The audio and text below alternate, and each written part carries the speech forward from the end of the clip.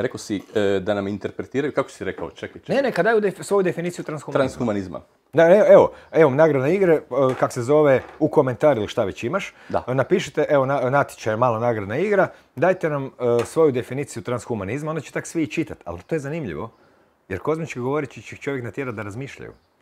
I onda mi ćemo da jednostavno najbolje definicije pokloniti knjigu. Može. Ja mislim da to, e, e, e, to čak i mene zanima kaj će reći. Apsolutno, Jer zanima koliko su ljudi daleko dobacili. A mislim da nisu daleko dobacili. Gle, transhumanizam je kompleksna tema. ja se mislim da sam ja samo malo zagrebao po tome. Ovaj. Vidjet ćemo, jer ti ne mereš znat, postoji jedan postotak ljudi, ali pazi, transhumanizam je dovoljno još misteriozan pojam da e, bit će zanimljivo.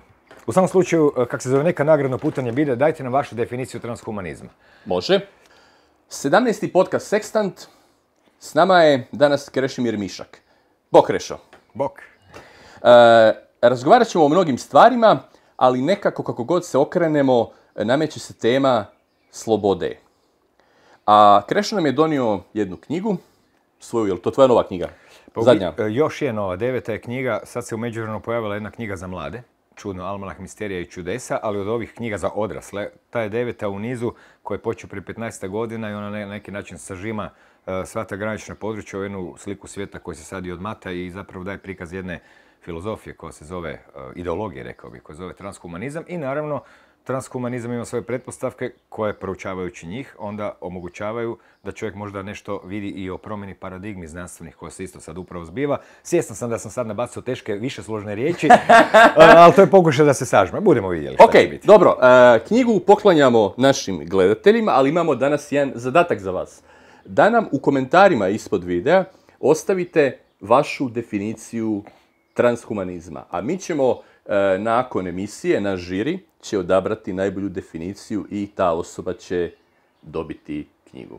Krešo, hvala za knjigu. Vidiš kako je to apsurdno. Na kraju će dobiti knjigu osoba koja upravo najbolje zna definiciju, što, koja zapravo najmanje treba knjiga. Možda bi trebala nagradna igra biti najgora definicija transhumanizma. Mislim da ti neće ni gledati ovaj.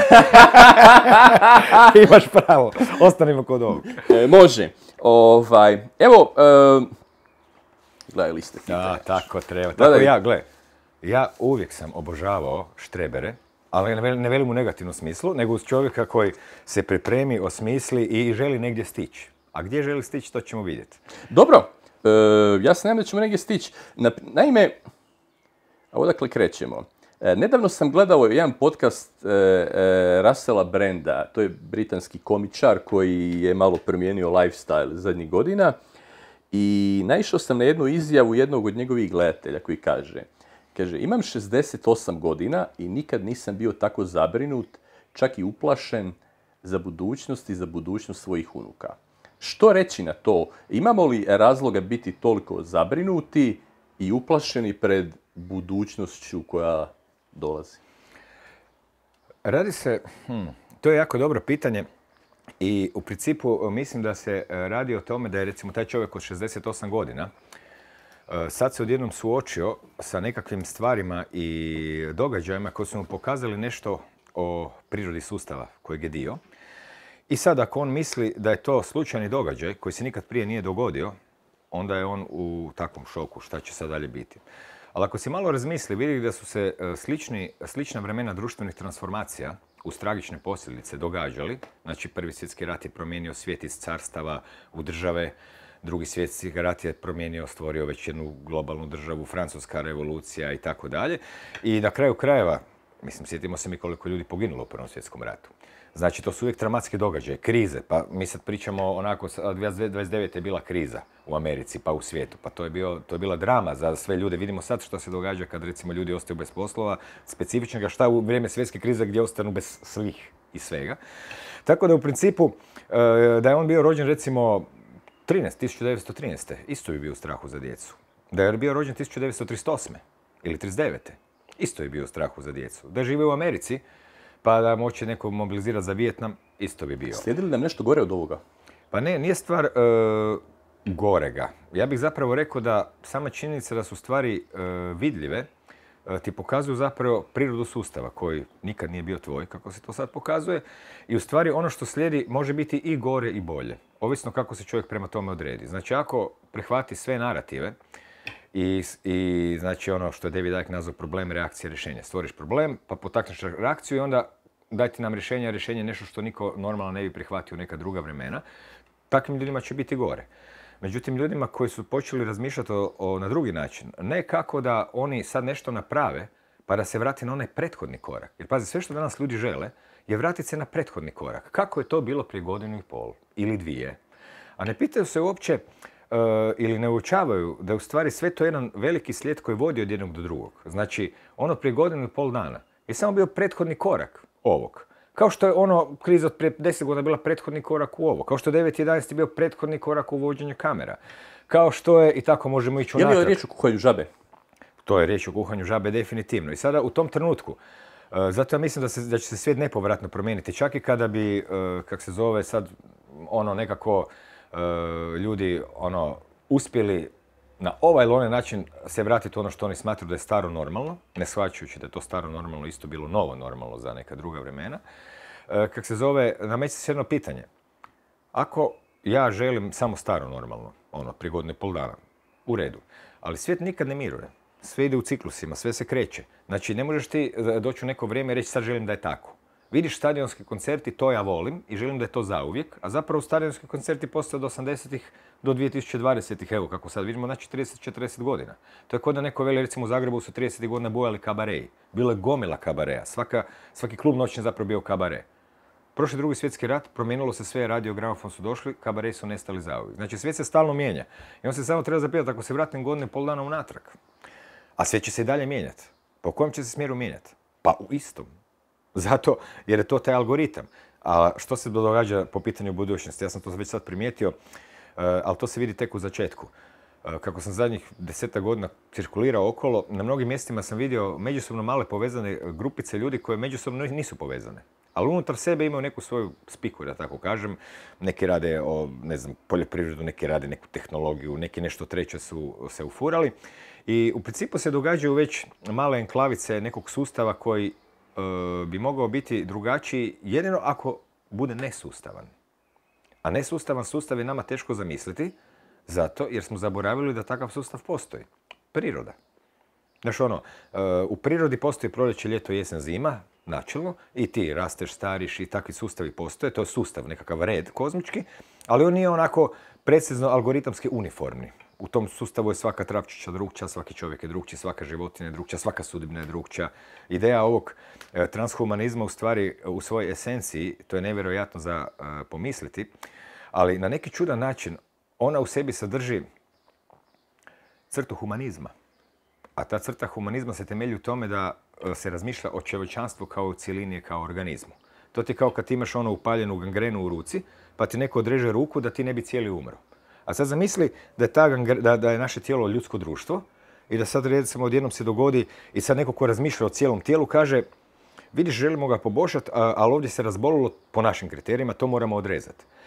To je za taj dio društva katastrofa. Znači, ako ti razmišljaš o čovječanstvu kao jednom fiktivnom entitetu, kao cijelini, onda u stvari pričaš o nekom nadorganizmu. Ja osobno mislim da e, razmišljanje o tome kako bi taj e, nadorganizam trebao izgledati je potpuno promašeno i uzaludno, jer on postoji daleko prije stvaratelja planova kako bi trebalo društvo izgledati, takozvanih društvenih inženjera. I u stvari pokazalo se u vremenima prije nego što je sustav civilizacije instaliran na zemlju prije 5000 godina, pa je ono algoritam, hram, vojska, pravo, zakon i sve što hvalimo kao napredak, vidjeli smo da su ljudi živjeli i prije. Ali u povijesti o tome nema jer nisu pisali nego su pričali. Nisu imali šta zapisati. Živjeli su na istoj zemlji, na istoj travi, ali bez nekih fiktivnih ideja, fiktivnih granica koje danas smatramo stvarnima i jesu stvarne. Država, granica, carinik, porez i tako dalje. Tako da u stvari je ovo vrijeme, vrijeme u kojem e, se prvi put u zadnjih nekoliko tisuća godina e, nekako otvara e, mogućnost da čovjek pristupi životu nekako, rekao bih, kreativno. A da bi pristupio kreativno, prvo mu se moralo dogoditi to da shvati da ono što misli da je njegovo u stvari nije njegovo. Znači, mi smo prije učili kao ovo je naše društvo, mi smo čovječanstvo, ovo je naša zemlja, ovo je demokracija i tako dalje. Odjednom ti vidiš da su svi sve procedure hakirane u korist nekakvih nadnacionalnih korporatističkih institucija koje u svojoj šaci drže sve, sva glavna upravljajuća tijela svijeta. UN, Evropsku uniju, svjetsku zdravstvenu organizaciju. Koja su izrazito nedemokratska, da budemo Nisu, pazi, nisu, po čemu bi ona mogla biti demokratska kad ih niko nije birao za početak. Ali usprkos tome oni prodaju ljudima priču kako bi trebalo biti demokratski, makar u njima nema ni deo demokracije. Ali, sad trebamo se opet dalje zapitati, a to se zapitao recimo Jean-Jacques Rousseau još davno, može li biti postao demokracija u velikim društvima? On je rekao, velika društva moraju imati diktaturu, srednje velika oligarhiju, a u malim društvima je moguća demokracija. I ta demokracija na razne načine idealizirana. Evo ja sam uh, uz par puta u životu odlučio aktivno sudjelovati u sastancima kućnog savjeta. Ja sam rekao ovak, ne mogu utjecati na svijet, ne mogu na ništa, ali ovo je moja zgrada. Zašto, zašto bi bio, jer znaš kad meni neko veli sudjelu u ovom, šta da sudjelujem u nekim abstraktnim nadnacionalnim trendovima i društvenom inženjeringu i nekakvoj i šahovskoj igri. Ali recimo kućni savjet je bilo nešto gdje sam mislio, evo to je moja zgrada, moglo bi se napraviti, znaš ono, lampe, biciklarnik, ovo ono. I u par navrata sam ja tako sudjelovao, ja mislim u tri faze u životu. I svaki put sam primijetio što je prava demokracija na dijelu. I možda to zvuči malo poražavajuće za demokraciju, ali demokraciju čine ljudi. To ti je znači galama, svađanje, to da se ljudi jednostavno povampire u takvim trenucima. Odjednom im se oči zakrvave i počnu vaditi leševi iz ormara. Ja sam gledao na tim kućnim savjetima i vidim to je demokracija. I do kakvog zaključka sam došao? Ako je to demokracija, jedini način da se za te ljude napravi nešto dobro je da je najbolje da ih se ništa ne pita, nego da im se predstavi ideje kao dobre ili operativno napravi. Drugim riječima, došao sam do transhumanističkog principa. Indirektno ono, jel? Indirektno, e, ali o čem se radi? To je opet stvar e, percepcije i sve stvar percepcije, jer u isto vrijeme e, čovjek može promatrati e, tu demokraciju upravo takvu kakva je. Ali, dakle, skup ljudi koji se prepiru ili svađaju. Problem je u tome što e, većina tih ljudi su zatvoreni u nekakvu e, svoju ideju da ih neko hoće prevariti, šta sad ovaj meni radi i tako dalje i od tuda to kreće, jer zapravo nema povezanosti u zajednici. Kućni savjet nije pravi primjer demokracije jer ljudi svi koji žive u zgradama kao i ti, kao ja cijeli živo, znaju da se susjedi zapravo ne poznaju. To nije demokracija kao u selu kad ti živiš pa znaš tu je Štef, tu je Lojek, tu je Martin, znaš što misle, pa se dogovaraš, pa onda kao u Gruntovčanima lobiraš. Bila je jedna epizoda Gruntovčana gdje se postavilo pitanje prenamjene pa škole, lobiranje. Ali, on ti dolazi lopirati, ti ga poznaješ. To nije nepoznati čovjek koji lobira tebe kroz nekakav slogan koji ide na tvoje nekakve emocije pa ćeš ti sad prihvatiti tu lažnu sliku. Tako da je to jedan e, vrlo kompleksan pojam i zapravo se nameće temeljno pitanje treba li društvo biti upravljano ili će se ono samo upravljati, ajmo reći, prirodnim nekim to sad zvuči metafizički kozmičkim redom, ali nije kozmički red ništa drugo nego smjena dana i noći, smjena godišnjih doba i tako dalje. I zato je taj transhumanizam sve teža tema jer dok ga uh, kritiziraš možeš ga u isto vrijeme reklamirati. Jer ono što je transhumanizam definitivno dao ljudima, to ti je kao onom, spaša, kako se zvao ovaj, uh, ne spašavanje vojnika Rana, nego Brian, Life of Brian, ne Life of Brian, Znaš kad oni e, židovi dolje raspravljaju o tome šta su sve Rimljani im napravili. Pa to je poznata scena. Šta su nam oni dali? Dali su nam ceste. Šta su nam dali osim cesta? Ulice su sigurni noću. Šta su nam dali osim sigurni? E, pa dali su nam kanalizaciju. A šta su nam dali osim toga? I to ti je to, jer u stare vremena su ljudi jednostavno sve znali napraviti sami. Imali su potpuno drugi modalitet. Mi smo se danas naučili, evo ja prvi, ne znaš više ništa napraviti, a i ugodno ti je fino toplo, šta upališ radijator, toplana grije, nema Neko više. drugi brine za Kad sam ja živio tamo u šumi pa uzmeš cijepanicu pa sjekira, ali to je mali mikrosustav između mene sjekira i peći koji niko ne može zapravo spriječiti. Tako da e, taj čovjek e, u stvari e, koji je to se pitao, ja mislim da se on Naime, ja njega razumijem jer ja isto imam djecu i zbog toga kako sam vidio kako su se do prije samo godinu i pol dana pa unatrag dugo godina ljudi i po selima i po gradovima družili, išli u škole, markirali, pili kave, na faksu se družili, upoznavali. I meni je isto, kak se zove, najgore od svega kad vidim šta se u ovim okolnostima svih ovih lockdowna događa sa djecom koja zapravo su u onim vremenima kad ti svijet izgleda kao izlog šarenih slatkiša. I podrazumijeva interakciju, podrazumijeva klubove, svirke ili šta god se već nekom sviđa. I to je zaista onako, bi moglo biti frustrirajuće, moglo bi se pretvoriti u neku ljutnju. Ali se radi samo o tome da sada e, zapravo taj transhumanizam koliko zatvara prostor, stvarno ga zatvara. Ali ako, ti, e, ako ti njegove metode i ovo što ono radi uspješ vidjeti kao propagandu i kao društveni inženjering koji vodi svijet u određenom smjeru, druga sa stvar kojem, to ćemo možda kasnije pričati, možda i ne, onda ti vidiš da zapravo ti sad moraš prvi put uložiti energiju, snagu i svoju volju i pitati se što ja hoću. Hoću se družiti s prijateljima. E pa sad više ne idem E, pred Kafkasko nekad pa koga sretnem, nego ih nazoveš ciljeno, pa to radite. Znači, odjednom tvoj život već u tak banalnih razina mora postati tvoja odluka, a tvoja odluka mora biti utemeljena o tome kako vidiš stvari. Ako ih vidiš ovako, ti ćeš se možda zaključavati. Ako ih vidiš onako, ti ćeš reći čekaj malo, Pa sad imam možda čak na neki način i više vremena. Evo recimo, e, ljudi su nekad morali ići na faks, pa čekat, pa dva sata do sljedećeg predavanja, pa dođeš doma na večer. A možda sada možeš stvari nabaviti operativnije ako znaš zašto. Ako znaš, aha, sad ću od života sebi uzeti nešto bolje. Idem se naći sa svojih dva, tri prijatelja, idem u rupu e, svirati i tako dalje. Znači, rekao bih da ovo vrijeme otvara prostor za puno malih mihura. Ali da bi čovjek mogao te male mihure stvarati, mora se kao prvo odlučiti, mora biti malo i kreativan i kao drugo, mora jednostavno početi graditi svoj svijet bez obzira što se vani zbiva. Naravno, ako si ti stvarno pomislio da ćeš se tu srušiti od kuge na ulici, znaš, ono, onda nećeš to raditi. Ali ako si malo bolje pogledao pa vidio da nema zapravo neke realne ili barem statističke opravdane opasnosti za tebe, jer mislim da se ne razumijemo nešto. Život je gola opasnost. Pa evo ja sam roditelj i mnogi jesu. Pa svi mi znamo da ovo na zemlji, ova naša ljubav na zemlji ne nalikuje one kozmičkoj ljubavi, zato jer ona uvijek puna straha. Što voliš, za to se i bojiš. I zato je najbolje ne znati uopće šta klinci rade, kao što je bolje bilo da moji starci nisu znali. Znaš, ono, nisu to nekakve stvari jako, ne znam, ekstremne, ali mogu biti opasne. Uvijek, uvijek su te igre opasne. Znaš, ono, Jebi ga, klinci vole baciti metak u vatru pa da vidi šta će se to goriti. Takve stvari. Znaš, ono, kamenjem na stakla auti koja prolaze. To su sve dječje igre koje su se igrale. E, kak se zove, ono kako bi rekao Štulić, vrijeme odluke. A ta odluka mora proizaći prije svega iz e, malo udubljivanja u vlastite motivacije, da čovjek se prestane toliko baviti vanjskim svijetom, ne kaže čekaj malo, ovo, su, ovo je sadašnji trenutak kom živimo, onaj prethodni je bio isto privremen. I on je bio privremen. Pa ne bi ljudi bez, bez vraga stalno pričali o starim dobrim vremenima. Međutim, jesi li ona bila bolja ili gora? Ovisno kako se gleda. Recimo, ja znam ljude, pričam je recimo jedan astronom iz Istre, kako on kada je bio mlad 60-ih, on u Istri je imao dva metra i ovako bio mršav gladan. Jer nije bilo hrane čak ni u kontejnerima. Znači, iz te perspektive ti možeš reći da danas više nema gladnih ljudi. Znači, to je dovela proizvodnja. A zašto je to dovela? Pa da te cici mici malo odvući od polja, pa sljedeće sekunde te može time ucjenjivati. Ali ti moraš shvatiti e, proces, a ne držati se trenutka i reći ovaj trenutak ne valja, želim ga promijeniti. E, stvari nikad nisu bile ni dobre ni loše. Uvijek su bile nekakve i uvijek su bile privremene, ništa nije trajno i sve se stalno mijenja. I mislim da ne postoji čovjek koji u životu ima samo loše događaje. A za društvo isto tako mislim. Znači, mislim da bi trebalo proniknuti u društveni inženjering i onda reći čekaj malo, što želim?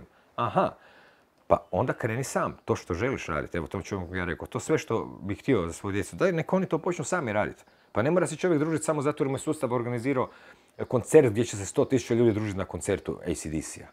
Što je po meni malo i besmisleno, ono, ja nikad nisam volio stadionske koncerte. Tako da velim, ta tema u stvari zahtjeva čovjeka da se zapita tko je i što hoće. A ne samo da želi, joj želim ono prije što je bilo. Sad odjednom onaj svijet prije izgleda idealan. A u stvari nije baš bio idealan. Pa prije godinu i pol dana je bilo tisuće problema. Ja se sjećam u sjećnu. Svi su se tresli po novinama zbog imigranata koji dolaze. Pa su bile snimke vodenih topova na granici Turske. Gdje se to nestalo? Što tih ljudi više nema? Nestali su. Nema, to više nije problem. Kuž, dakle, drugim riječima, e, kako se zove, ako već želi živjeti u, u iluziji, u snu, u nekakvoj predođbi, pa da onda stvori svoju predođbu. Pa ona nije ništa e, više točna ni lažna od ove druge. Da, ali je tvoja. I tako. A eto, kako je bilo pitanje, takav ti je odgovor. Svjetski gospodarski forum u Davosu. E, baš sam gledao govor Erika Schmidta, koji je bivši direktor Googlea i Sheryl Sandberg, CEO Facebooka. I sad oni govore o nekoj tehnokratskoj budućnosti u kojoj kompanije imaju sve vaše podatke i uz vašu privolu u biti organiziraju cijeli vaš život. I sad ja sam stekao dojam kao da su ti ljudi e, silno uvjereni u to da su oni pokretači nekih grandioznih promjena i da su te promjene dobre. E, ali uvijek tu postoji taj neki kao reimagine, redis, redet. Odakle tim ljudima ta želja da mijenjaju tvoj život i moj život? Evo ovako ću ti reći. Vidiš ove naše stanice u ruci? One su sve nekad bile samostalni organizmi. I onda je došao neko i rekao, ljudi, ajmo uvesti transbakterizam, da napredujete malo. Da možete čitati, pisati, putovat. I što se dogodilo? Stanice dalje ne znaju čitati, pisati, putovat, ali su se spojile u nadorganizam koji to može. Znači, mi bi recimo bili produkt transbakterizma, ako baš hoćeš. E, tako i ovo ti slučaj. Trebamo li postati Borg neki? Da, o tome se radi. Jer, koje je ovo razmišljanje? Prvo moramo shvatiti e, biti tehnokracija, ali velim da ova priča cijela ne završava samo na društvenom inženjeringu. Ona dolazi do najboljih pitanja što je čovjek i što je u stvari percepcija i stvarnost, ako danas na 21. stoljeću već znamo kako se stvarnost konstruira u našoj glavi u stvari. Ali kako te oni razmišljaju ovako, ukratko? Znači, kao prvo njima u fokusu nije pojedinac. Nije individua sprem zajednice, nego atom sprem kolektiva. I kad oni kažu e, tehnokracija, važno je jako dobro razumjeti, a to se ne nalazi u ovoj knjizi Smrta nas humanizmu, sloboda narodu, nego u knjizi Dečki odjebiti u skokovima, gdje ima cijelo poglavlje o tehnokraciji. Dakle, što ona je i kako je srbinost čovječe. Uglavnom, e, tehnokracija e, jest kao nekakva vladavina inženjera, tako nam to kažu. Viš, političari korumpirani, doći pravi stručnjaci. Ti tehnokrati nisu stvari inženjeri ili stručnjaci za nešto posebno. Da on sad zna nešto popraviti. Oni su stručnjaci za upravljanje sustavom, ali prije svega na koji način.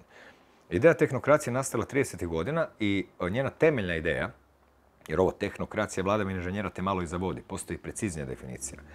Ideja tehnokracije se temelji na pretpostavci da nema dovoljno, da energije na svijetu ima koliko ima. Ti ćeš vidjeti da transhumanizam uvijek barata s nemanjem. Sustainable energy, to je njihova priča. Mi vidimo da svemir ne funkcionira kao sustav u kom je unos i iznos nula i ti si u stalnoj nuli. Vidimo da se u atmosferi stvaraju stalno voda i kisik od elemenata iz zraka koji padaju sa sunca. Vidimo da baciš jedno sjeme, nakon tri godine imaš od jednog sjemena pet polja. Znači svemir je u stvari dareživ. Dišeš, ništa ne košta, sve funkcionira. Oni kažu ne, nema dosta energije na svijetu. I 30. godina su razmišljali kako da oni tu energiju pravedno podijele na sve ljude na svijetu. Što opet zvuči privlačno. Kako će to napraviti? Kroz računovodstveni sustav. 30. godine nisu imali kompjutere, danas imaju. I danas se tehnokracija radi kroz to da se nastoji e, sva energija na svijetu na neki način mjeriti, da bi se moglo u bliskoj budućnosti reći, aha, ajmo je sad pravedno podijeliti na sve ljude. To je kao neki vrst aljenizma. To je ono koliko malo imamo, svi ćemo biti jednako siromašni. I zato ti danas, e, ej, to mjerenje energije ti se e, ide raditi pod ispriku mjerenja CO2. Zato ta cijela banana je, osmrzavamo se non stop, onda statistike. Vidite, statistički je ovo najtopliji mjesec. To je ono u onom vicu, to postoji onaj vic stari, znaš kad žena, mužu, žena uhvati muža u krevetu s drugom ženom, a on skoči s krevete i veli, draga, hoćeš li vjerovati meni ili svojim očima? to ti je ta ista priča. I sad šta se zbija? Ta tehnokracija danas ima kompjutere. I ona danas ide prema tome da mjeri količinu energije, odnosno okrivljujući ljude da pridonose sa CO2 nekakvom globalnom zatopljenju koje niti postoji, niti čovjek dovoljno CO2 luči da se to dogodi i to je sve jedna zapravo, to potpuno neznanstvena fantazmagorija, koja god se e, predstavlja kao da je znanstvena. Jer znanstvenici koji ne mogu u javnosti, kojima, koji se ne žele ugrožavati život time što će ih proglasiti ono climate war, onaj global warming denierom, jednostavno ne žele se upletati u to. E, ta tehnokracija znači želi ovo, kroz pametni grad, koji će biti spojen sa tvojim pametnim domom, i kao što smo vidjeli što je zadnje e, predstavio Svjetski ekonomski forum, pametnu masku. Jesi možda to vidio?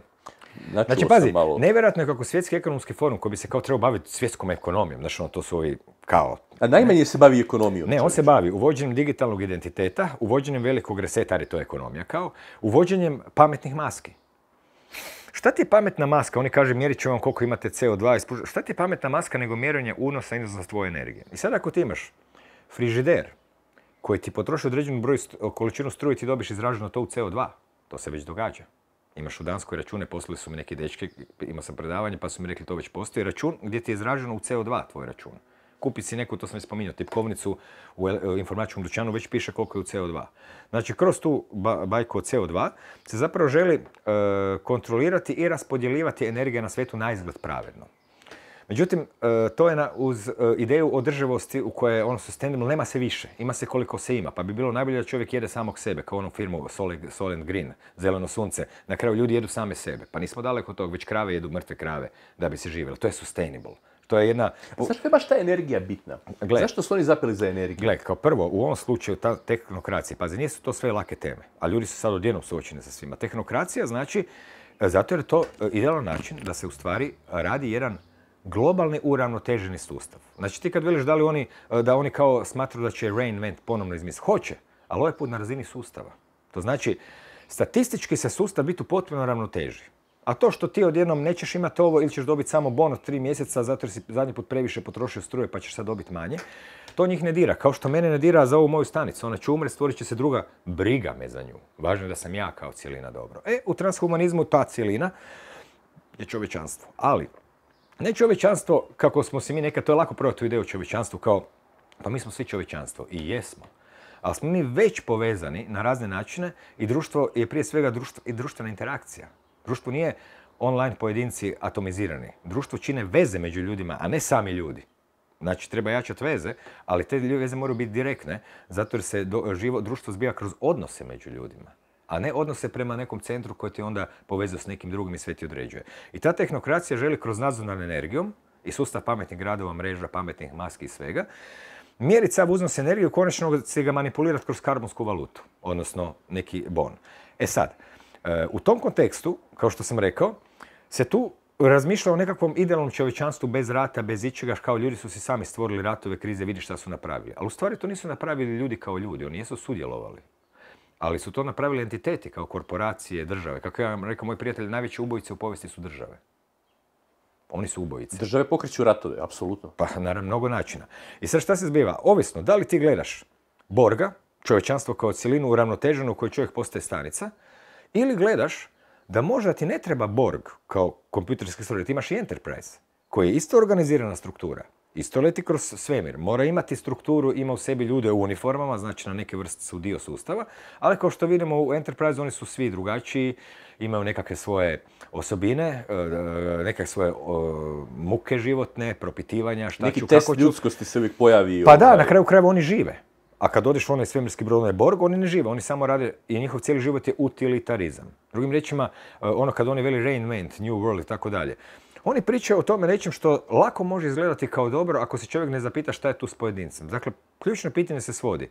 Da li razmišljaš o tome da bude sustav uravnotežen pod cijenu toga da svaki pojedinac uvijek radi sve isto, jede istu količinu hrane, ispušta istu količinu hrane, jede, znaš ono, 84. i sve te priče, ili ti želiš, ili ti smatraš da, da postoji kozmički sustav, ali on je neomeđen, on je nalik fraktalnoj geometriji, on je nalik iracionalnim brojevima. Da, fi je uvijek 1,6 ili ne znam, uh, pi, fi ima ih koliko god hoćeš, zlatni rez, 1,0, ali nikad nije završen 0,6, 1, 2, 3, 5, 7, 2, 8, 7 i svaki se razlikuje. U Fibonaccijevom nizu kad brojiš dva uzastopna broja, dijeliš ih, to jest dobiš uvijek zlatni rez uvijek okolo.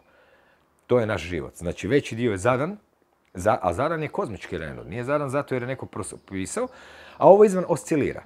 I u stvari je meni paradoksalno što transhumanizam zapravo ima u središnjem e, svom, svoj ideji besmrtnost. kolektivističku besmrtnost, jer mi umiramo. Mi umiramo. Materialistička paradigma nema odgovor za smrt. Religije su imale, ideš u raj, uh, reinkarnacija, ovo ono. I na kraju kada to su realna pitanja. Šta se zbiva s našim ja koje doživljava kad umremo? Da li ono nestaje? Ali kad oni to nemaju, onda su morali svi smisliti alternativu besmrtnosti. I to je taj kolektivistički entitet gdje ti ja umiremo u nekakvoj kutici, ali čovječanstvo i dalje živi. Ko je moje stanice? Umiru i nestaju, ali ja i dalje živim. I taj transhumanistički, e, kako se zove zapravo, e, sustav vječnog života, on u stvari e, pokušava stvoriti vječni život što je nevjerojatno principima smrti. Jer, evo, reći ću ovako. Kad se James Lovelock, jedan danas je poznat autor hipoteze o geji, 60-ih dobio zadatak gdje već radi u nas ili drugdje, da, da nađe neku metodu kako bi otkrio da li na drugim planetima ima života. On je, za razliku od drugih kolega koji su uzimali meteore, neke meteorite koji su padali pa tražili tragove bakterije, on je obratio pažnju na atmosferu na Marsu. I rekao je, vidiš, atmosfera na Marsu je u ravnoteži. To znači da je Mars mrtav planet. Na Zemlji je atmosfera u neravnoteži, dinamička neravnoteža. Znači da je to živ planet. Tako je on došao do svojih ideja da zapravo živo stvara atmosferu i tako. Ali što to znači? To znači da, da, mi imamo 21% kisika. Ne znam, tako su nam rekli.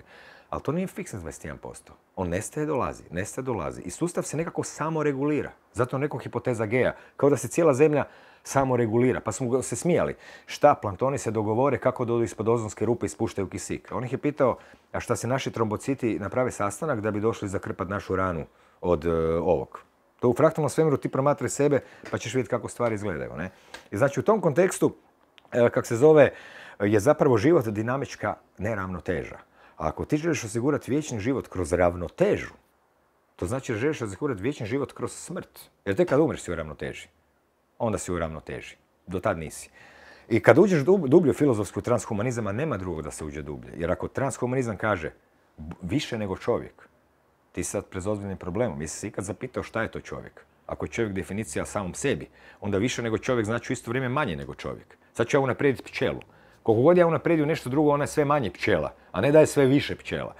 E, tako da u principu ti društveni inženjeri, e, a kad dalje razmišljaš, očigledno je da iza tog pokušaja nadzora nad prirodnim procesima i stvaranja neke održivosti se krije ideja nemam, odvojen sam od nečeg i, e, kak se zove, bojim se šta će sa mnom biti jer ne vjerujem da moja esencija preživljava smrt.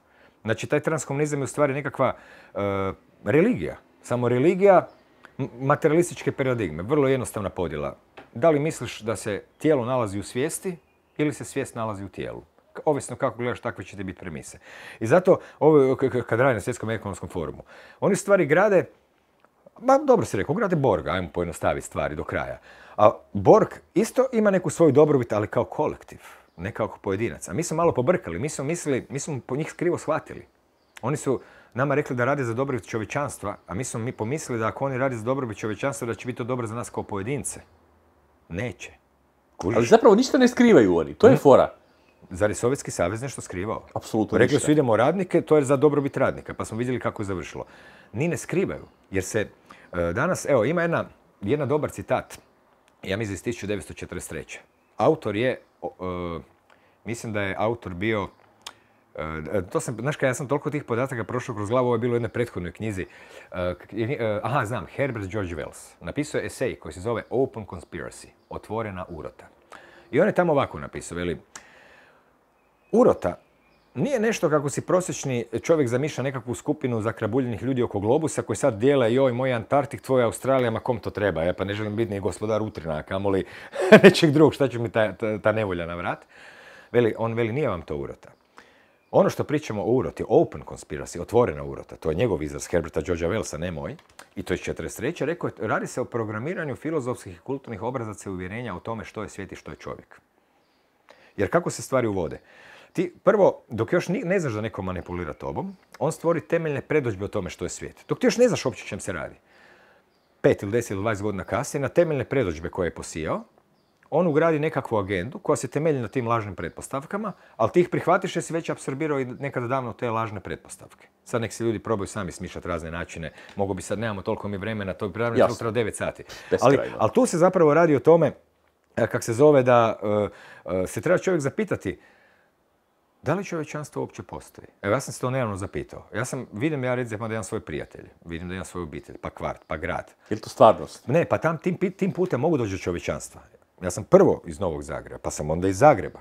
Nakon tog sam iz Hrvatske. Nakon tog sam sa slavenskog juga, a nakon tog sam iz Europe i tako dalje. I na kraju mogu biti dio čovječanstva. Ali ja ne, ne mogu niti želim biti primarno dio čovječanstva, jer tu se sastoji od nekakvih 7 milijardi ljudi, to je meni brojka. Kažu da ih ima 7 milijardi, ja sam u životu vidio... Ne, ja sam u životu vidio par tisuća ljudi, šta znam 7 milijardi. Neki tamo žive, Eskimi, Aboriđere, neki u Japanu, šta sad mene to briga. I sad bi ja trebao brinuti za cijeli taj kolektiv. Znači, put protiv transhumanizma je put prema dolje.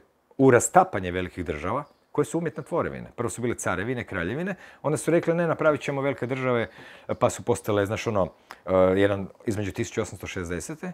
i 1870. su nastale suvremene nacije. Znači, jedan Bismarck je rekao, svi koji govore njemački će biti njemci. Neki Garibaldi rekao ili Piemont, svi koji govore talijanski su taljani. I danas odeš u Rim, vidiš ono 50 godina neki častiran spomenik, 50 godina Italije. Probudile se nacije. Nisu one probudile. One su stvorene kao mentalni koncept. Zašto? Jer ti si primao ljude, evo mi Slaveni smo ti tu regionalci. Mi uvijek gledamo svoju regiju. Zagorje, Međimurje, to, si, to je ono što jesi. I onda se jednog dana, a mi smo dalje mala zemlja, što je jako dobro i volio bi da, da su zemlje što manje. A oni žele što veće zemlje, jel tako, kao možeš putovati. Možeš putovati dok ti ne stvore, evo, sad više ne možeš vidjeti. Nema veze, to prvo te malo navuku, znaš Ali to ono. je bila spika jedno vrijeme kao decentralizacija, treba spuštati ovlasti na sve nižu razinu i ta Ma kad je to bila spika? Bila jedno prije 20 godina, se sjećam, u političkom nekakvom... Ma joj, gle, gle, mogu je, jedno su priče. Trend zadnjih 150 godina nije decentralizacija, Apsolutno. nego e, SAD.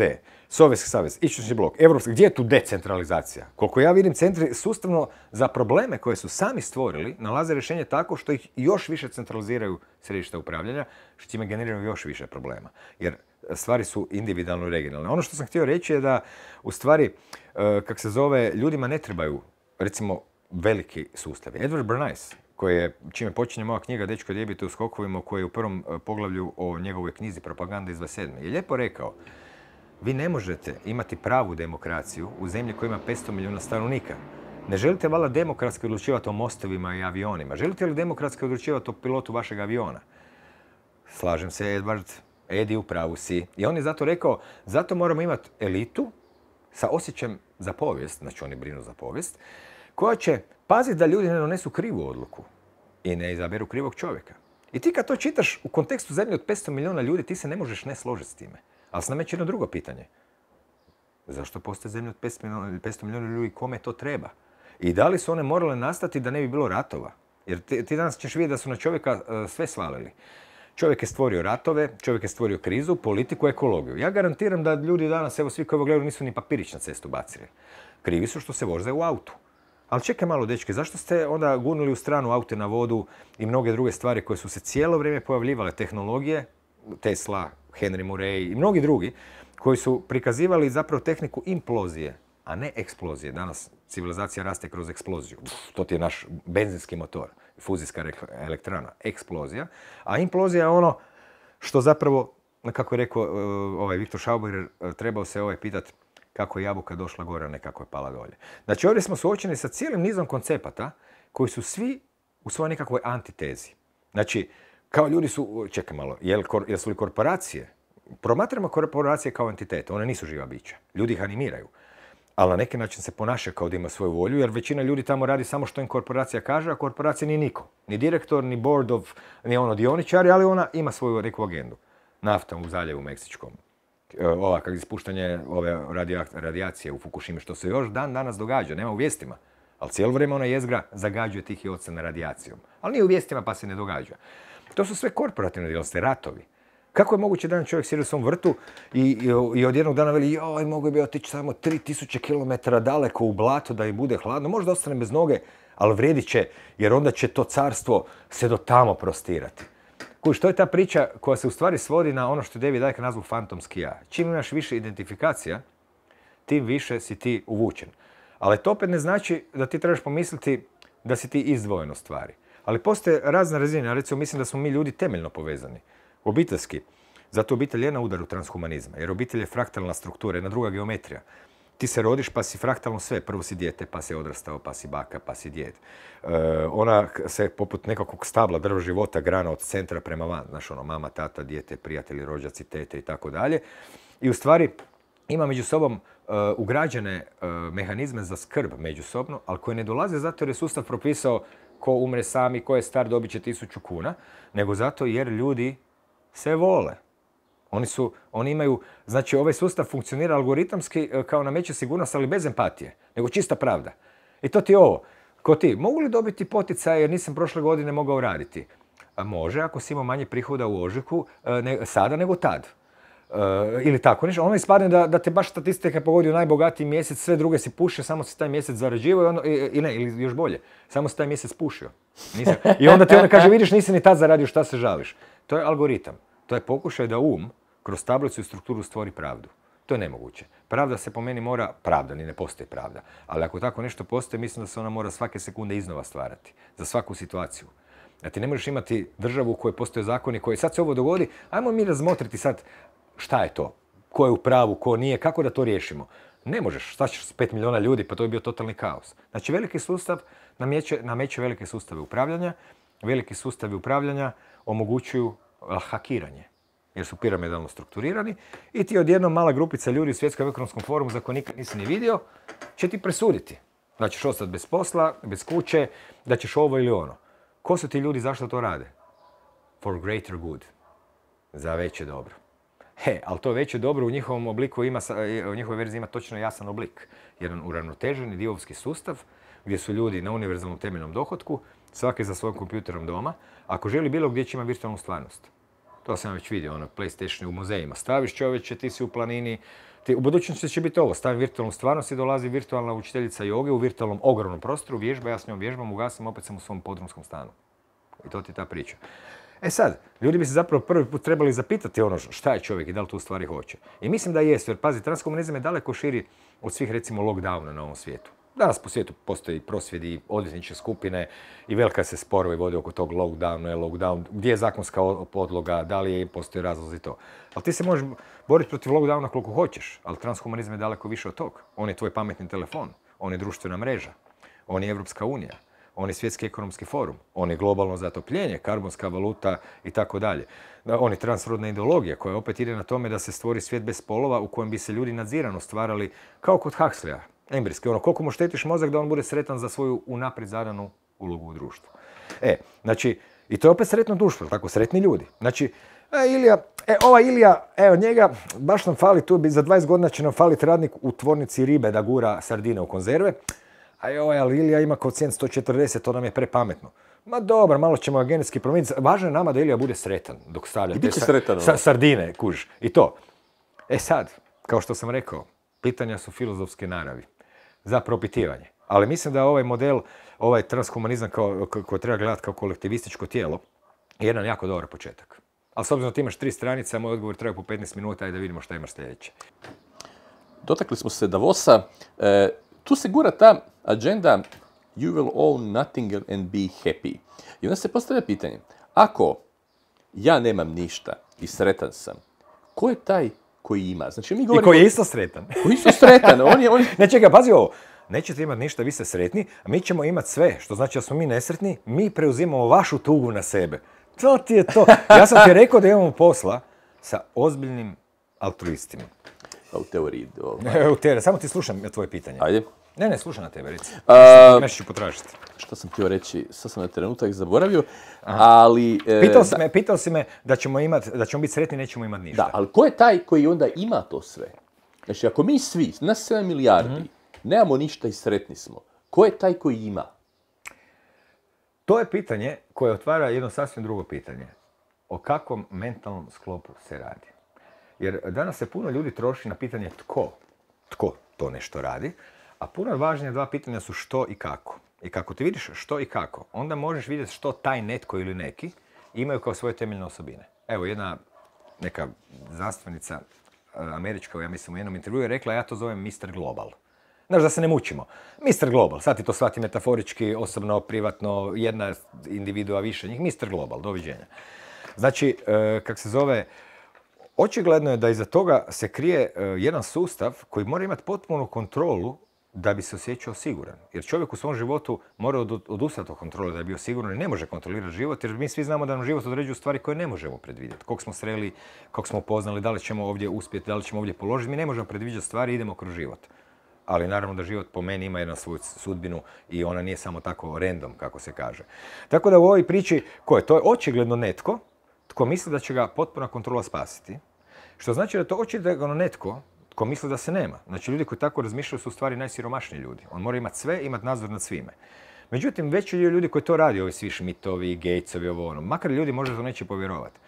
Ali oni su toliko sitni po trci da oni skoro ništa tog ni nemaju. Oni su svi u stvari stvoreni od ta, ili u dogovoru sa tajnim agencijama drugim za svoje nekakve ideje, znači to nije nova stvar da agencije za nadzor za društveni inženjeri koriste razne prirodne subjekte i oni zapravo nemaju ništa od tih brojki toliko. Kužiš, na kraju krajeva ima jahtu od 20 metara ili 100 metara, ista ti to stvar. Ali hoću reći, generalno, šta ti zapravo u životu uopće imaš? Milijardu dolara na računu kao neku brojku i šta ćeš s tim kupiti sve što možeš? Znači, to pitanje koje si postavio bi bilo jako dobro da se ljudi sami odgovore. Ja naravno nijem svoje odgovore. Ja sad, kad bi ja rekao sad svoje odgovore, do čeg sam ja došao, samo zato, jer sam nekoliko godina samo buljio u tu temu ovako, evo, buljio. I kad ti dugo buljiš u nešto, stalno vidiš to isto, ali svaki put vidiš na neki način čišće. Ali da ne bi ja te svoje odgovore nudio koji su, znaš, ono, e, rezultat dugogodišnjeg buljenja, pa bi neko mogli biti šokantni, a ne sad šokantni, evo kakvu ovaj tajnu ima, nego jednostavno, ono, možda malo previše, ali ne bi možda ni bili nelogično tako. Zapravo ovdje ključno pitanje je to, ne treba razmišljati, uh, kako se je rekao, znaš kako ono rekao, u budućnosti će robovi biti sretni i voljeti svoje robstvo. Znači ti ništa nemaš i sretan si. Nije u tom problem. Nijedan aboriđen, a jedan aboriđen isto ništa nema i sretan je. On ima jedan nož, odiću i to je sve ali on ima svoj doživljaj. A doživljaj je sunce, mjesec, opasna zmija, životinja koju moramo loviti. Znaš ono ciklus, idem gore, idem dolje, idem gore, idem dolje. A ovo ti ono neće ništa imati, bit će sretni onako uravnilovka. Znači, potpis transhumanizma ti je osiguranje. Bićeš najsigurniji ako ostaneš u kući, sve imaš pre kompjutera. Je li to neka naša mantra našeg, današnjeg vremena, uvjetno rečeno, ta sigurnost, da budemo ko neki zombi zaključani u kuću. Jesu nas zato i sa ovom koronom pa ovaj, tako... Vrlo jednostavno, čovjek u sebi ima ugrađen strah od smrti. I ima ugrađen strah od e, da mu se nešto ne dogodi, sve to. I u stvari će pregledati svaki sustav koji mu ponudi osiguranje. A ovaj sustav ti upravo to nudi, osiguranje. Pazi, on ti ga nudi na beskonačno puno primjera, ali to sve lažno osiguranje. Jer ti sudbinu, kao što se vidi, ljudima se i dalje događaju stvari i uvijek će im se događati. I ne dolaze bolesti jer te nešto izvana pogodilo, pa ćeš ti biti zaključen svoj pa je nećeš dobiti. Bolesti dolaze zato jer su one, kao što kaže Nela Sršen, naša poznata onkologinja u knjizi e, Rak na duši, tvoja unutarnja stanja, a i mnogi drugi prije nje, ona je došla do to kao zapadni liječnik praksom, ali mnogi drugi ljudi koji su davno uočili da postoje veze između duševnih stanja i bolesti. Ono što će se dogoditi, da ljudi neće biti u budućnosti sigurni, bit će bolesni, ali će imati manju mogućnost introspekcije da shvati zbog čega su bolesti, jer tu se opet vraćamo na definiciju bolesti. U dva, jedan indijanski šaman bi ti rekao imaš duhove u sebi, ali nije bi on mislio da imaš prave duhove. Ti duhovi su, ti demoni su tvoji misli koje ti toliko misliš da, ono, ako ti sam misliš da će te neko napad za dva dana, ti ćeš za dva, za dva dana ovako sjediti sa tijelom. Zgrčenih mišića, to je fizička radnja koja ti troši energiju. Ako ćeš tako biti 20 godina, šta će se dogoditi? Znači, on ti stjeruje demone, ali ne demone, nekakve došli entiteti, ono, može biti to u ovom svijetu beskonačnih bića, ali to su stvari tvoji psihološki demoni koji, koji postaju pravi. Znači, ono, ako ti nekog zamisliš kao neprijatelj nekog svog susjeda ili tako dalje, ako, ako si ga dovoljno dugo tako razmišlja, on to i postaje. Zoista za tebe u tvojoj stvarnosti. E, znači, to potpuno osiguranje kao prvo apsolutno ne postoji. Kao drugo, kak se možeš osigurati ako buš umro? Od čega ćeš osigurati? Umrećeš. E, zato su transkomanisti rekli idemo se loadati u cloud, pa nećemo umreti. Što oni zaista žele loadati u cloud, ja ne znam. Jer oni misle da smo mi naše misli, a ono što zapravo oni oduzimaju kroz transhumanistički sustav, da, ponudit će ti apsolutnu sigurnost. Bićeš siguran, imat ćeš hranu koja je obrađena kemijski, možda i leševi ljudi, kao u onom filmu Green Solent, održivi razvoj, ali nekakve kockice zelene. Imaćeš beskonačnu količinu zabave kako u mojoj knjizi ima jedan veli, veli, od sada samo se, će biti pitanje razina ugode. Kao više, maknut ćemo neugodu. Ali tu njihovu logiku, koja je tako pametna, inteligentna, za koju stoje vrhunski svjetski znanstvenici, fizičari, neki ne svi, malo dijete može rastočiti. Kako da znam što je ugoda ako ne znam neugodu? Ne razumijem kako to netko ne može. Dakle, ti hiperpametni ljudi zapravo padaju na elementarnim dječjim pitanjima, ta cijela filozofija transhumanizma. Jer u stvari, ono što čovjek voli zapravo je doživljaj i promjena. Znači što oni nude? Sigurnost. Kakva je sigurnost? Tako da je uvijek sve isto. A ti si siguran. Ko Orwellu. Imaš, ko u komunizmu, u SSR-u imaš siguran posao od 8 do 4, tu stoji, posjeđaš siguran svoj dom od 3,5 kvadratna metra koji u Kini koji ti je dala država onda tu sigurno dobiš svoju porciju hrati, ništa ne možeš brinuti i ugodno, je ti toplo, jesi jeo, jesi se naspavao. Ok, sad nas to vraća na pitanje smisla života, jer ono što čovjek u životu ne podnosi u stvari, u svoj biti je repetitivnost. To svi mi znamo. Ono, klasični primjer, evo, odeš u neki kafić, kava, krasan dan i doživiš krasan doživljaj. Misliš i kako je lijepo u ovom kafiću. A zapravo je to bio tvoj doživljaj tog trenutka. Drugi dan, našao sam recept za sreću, idem opet. Dođeš opet? Nema ga. Fino ima, još ga ima, još ga ima. Fino je treći, četvrti dan već dolaziš, već ti na silu odrađuješ to kavu, je kao mora ti biti dobro, fino ti je mentalno, zapravo ti je već dosadilo. Znači čovjeku trebaju stalne promjene. Čovjeku treba da mu bude i hladno i toplo i sigurno i nesigurno. Na kraju krajeva, ako ti misliš da čovjek samo onaj koji se rodi umre i, ništa između, i, i nema ništa između e, poslije toga i prije, to je jedna priča. Ali ako ti proširiš priču na koncepte, jer i ovo su, pazi, ovaj koncept, darwinistički je samo koncept. Nije to znanost. To je jedan čovjek nazvao, to je filozofski naturalizam. Znači, filozofski se došlo do tog da naturalizam vlada. To nije ono što se može vidjeti kroz istraživanja parapsihologije, drugih stvari, duhova, reinkarnacije, svega što je odbačeno kao pseudoznanost, makar su vrhunski ljudi to radili, znanstvenici, u razne teme, ne sad možda ove neke konkretne. I sad što se događa? Ti imaš, e, e, čekaj malo, ko je, daj mi podsjeti malo, izgubi sam nit. You will own nothing and be happy. E da, htio sam reći da zapravo jedno što čovjek u životu zaista ima, što je zaista njegovo i ničije drugo, to je doživljaj. Taj doživljaj mora biti stalno svježi nov. Zamisli da ti veliš, joj, najsretniji sam bio u četvrtom razredu srednje škole. Hoćeš li ti cijeli život ići u četvrti razred srednje škole? Pa, tisuću puta u isti klub, tisuću puta u isti klub. Prestao biti sretan u nekom trenutku. Gle, ti bi zapravo, to čak nije ni stvar sreće više. To je, sreća je tu pre, e, velik pojam. Možeš ti biti sretan ili nesretan. Ali kako bi se reklo, ti e, doživljavaš stvari. Evo, zašto ljudi idu gledati filmove? Da bi doživjeli nešto. Zašto ljudi idu na bungee jumping rafting? Da bi doživjeli nešto. Zašto ljudi idu na ruđene tule slave nogine? Da bi doživjeli nešto. Pa čekaj, meni se čini da je doživljaj primarni cilj života. Ako ti ukinu doživljaj, a doživljaj je jako lako ukinuti, dovoljno da ti uvedeš repetitivnost u društvo. Ako ti moraš svaki dan biti na istom mjestu, s istim ljudima, u isto vrijeme, raditi iste stvari, jesti istu hranu i sve u isto vrijeme, Meni se znalo da, se, da, mi se to, da se to sam napravim. Počnem gledati neke serije, navučem se na njih, ono, ove lude su serije, fenomenalne su, znaš sam da ih ima stotine. I užasno mi je zbudljivo. I dobro dok ja imam drive, ono, a, doživljaj super je napeto mi je. Ali ja pogledam petu, sedmu, osmu, desetu i onda već po inerciji desetu i više me, već me zapravo i umara, kuž doživljaj se mora stalno updateati, kako se to danas kaže. Dakle, ja mislim da će svijet transhumanizma biti svijet bez doživljaja, ali svijet koji se utemelji na nemanju. A, ono, to je vrhunsko siromaštvo, pazi, ti stalno misliš da nemaš. Za mene su transhumanisti najveći siromasi na svijetu. Evo, čitao sam knjigu od jednog Amerikanca, to svima preporučujem, ova papuće propuh punica. Onaj kodi nešto. Jako je bila zanimljiva jer ono iz američke perspektive promatru Hrvate. Došao ovdje, ženio se s Pličankom i napisao tom knjigu koja se zove inače u originalu, uh, zove se na engleskom uh, Chasing Creation uh, Girl. Uh, Ja glas njegov blog sam čitao. Survivor, da, da. Survivor's Tale. E, i mm, kako se zove, uh, koja je bila malo prije tema, zašto sam sad spomenuo Kodija, daj pomogni. Transhumanizam. Uh, da, znaš kaj, vratit ću se za pet minuta na to. Došla mi jedna asocijacija, ali asocijacija je bliska, a tako je daleka. Zašto sam njega spomenuo? Uh, koja je bila baš točno tema? Kako su transhumanisti najsiromašnije osobe E, to sam htio reći. Oni pričaju u toj knjizi kako on sa starima, recimo u Americi, od kad ima 18 godina dijelio, dođu na doručak pa svako plati svojih 11 dolara i 23 centa. I to je bilo normalno. I došao u Hrvatsku i počeo biti čudno kad ga ljudi časte. Pa je prvo mislio da to samo neka matematika. Onda je shvatio nije, to igra. Ja tebi, ti meni, runda, znaš ono i tako dalje. I skuži jednu stvar, rekao je čovječe, ovo je nevjerojatno. Mi u Americi smo znatno bogatiji, a niko nikom ništa ne plaća. Još gledamo, ako naručimo zajednički, ako je ovaj naručio pomfrijat mu gricem pomfri, da li ću ga ja morati platiti i sufinancirati. Veli, a Hrvati su daleko siromašniji od Amerikanaca, ali vi to u njihovom životu ne biste rekli. Zato jer se ponašaju kao da nisu. Plaćaju runde, zovu na ručak, ovo ono. I kad najgore živi smo i dalje, smo tu. Kužiš? I drugim riječima, to je doživljaj bogatstva i siromaštva. Ko je sad bogatiji ili siromašniji? Da li je bogatiji čovjek koji ima nominalno manje novca i dođe i veli daj naruči rundu, šta ćeš ti popiti, ti pivo, hoćemo, hoćemo jaditi, on možda i nema. Mislim, dakle, to ima i mane, zato mi imamo ljude koji su totalno siromašni ili imaju Mercedes. Da, da, da, ima i da, toga, da. gle, sve ima svoj polaritet. Ali on je jedan Amerikanac, oni imaju puno novca i ponašaju se kao da ga nemaju neće ni rođenom ocu platiti. On se jednog dana u knjizi zapitao, veli, nije mi jasno, pa zašto nisam neka starom platio doručak? Zašto nisam došao rekao stari, ja plaćam. Znaš, 7 dolara. Da, da, da, da. E, to ti je to. Znači, osjećaj siromaštva. Ja po meni su transhumanisti užasno siromašni. Pazi, ufurani su u plan. E, Mislim, cijeli taj, ono, i pogledaj se što transhumanizam dovodi, koliko je siromaštva doveo među ljude. Odvojio ih međusobno. Pa znaš šta ljudima treba za zabavu? Po meni. Moje iskustvo, ništa drugo. Ja sve što pričam, samo govorim iz svog iskustva, nek si drugi pričaju iz svoga, a ne pričam teoretski. Četiri čovjeka za stolom, čaša vode, pepeljara, možda cigareta, kava. I čovječe, ti se zabavljaš pet sati, valjaš se od smijeha.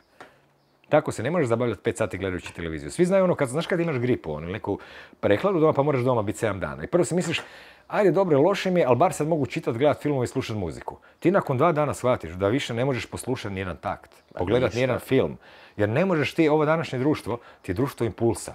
Daj, daj, daj, stimulanse. Meni je recimo konkretno, ovo prije godinu i pol dana u jednoj mjeri, tek sad sam shvatio bilo nakaradno. Jesi li primijetio recimo koliko je bilo festivala? Nekad davno je festival bio događaj koji dođe. Odjednom imaš festival koji traje mjesec dana, dva mjeseca, tri tjedna, četiri tjedna, pet izvođača svaki dan na bini, ovaj u brdo, ovaj tamo u šumi, ovaj ono.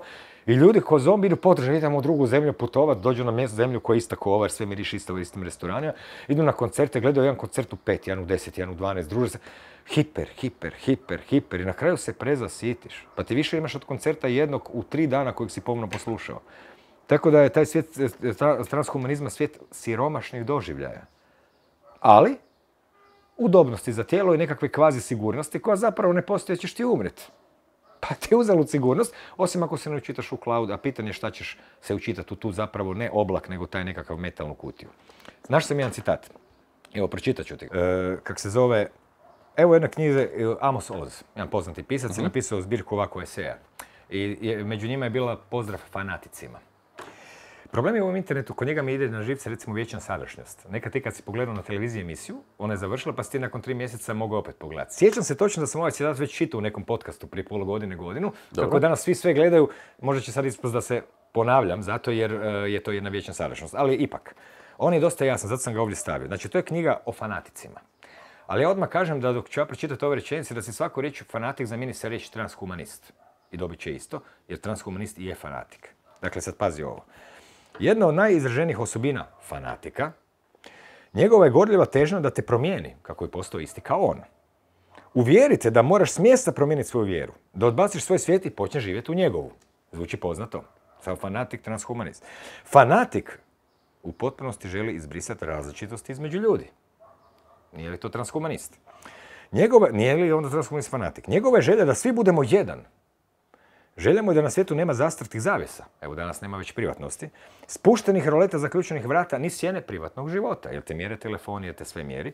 Zato što svi moramo biti jedno tijelo i jedna duša. Svi moramo koračiti zajedno u kolonu uspinjući se prema svitanju spasenja jedne ili druge vrste. Znači, fanatik ima ideju kako će on spasiti svijet u skladu sa svojim idejama, ali svi moraju se prilagoditi, ako se ne prilagodi, njega će ubiti. I to je za tvoje dobro uvijek. To uvijek. E. A to ti je transhumanizam, znači to je teški fanatizam. Pazi ovo, fanatik neumorno radi na tome da te poboljša i unaprijedi. Vidimo li paralele? čip ovo. Da ti otvori oči, tako da ti možeš vidjeti svjetlo. Stoga je fanatik iz tog aspekta altruistično stvorenje bez premca. Vrlo nesebičan čovjek. Mnogo se više zanima za tebe nego za sebe samog. Danonoćno se trudi spasiti tvoju dušu, osloboditi iz vlastitog ropstva, izbaviti iz magle i povesti u smjeru velikog svjetla jednom i zauvijek te spasiti od pogrešaka i greha. Ja bih rekao i boli ne uvode.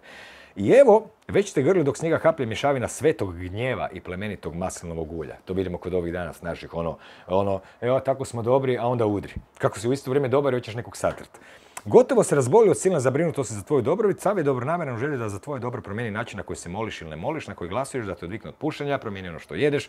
Viš da što je što je svjetski ekonomski forum sad propagira veganstvo. Kad oni nešto propagiraju, ti se trebaš ozbiljno zapitati, koja je šira slika u kojoj se uklapa to da svjetski ekonomski forum, jer pazi, ako ćeš vjerovati da oni stvarno razmišljaju dobrobiti svijeta, u redu, da ti je jasno. Ali mislim, čekaj, zašto oni to propaviraju? Nešto ima drugo. Uglavnom, sve što fanatik želi, cijeli tvoj način života koji ti toliko škodi, ti želi promijeniti. Fanatik i transhumanist. Sve što fanatik želi je primite u Zagreb iz kog si više nećeš moći ozlovoriti, smjesta te podići s mjesta na kom si zaglavio, na predivno i uzvišeno mjesto, koje se njemu već razotkrilo. I on lebdi u tim oblacima, tako moraš i ti s mjesta pasti na leđa. Sve za tvoje dobro, naravno. Samo za tvoje dobro.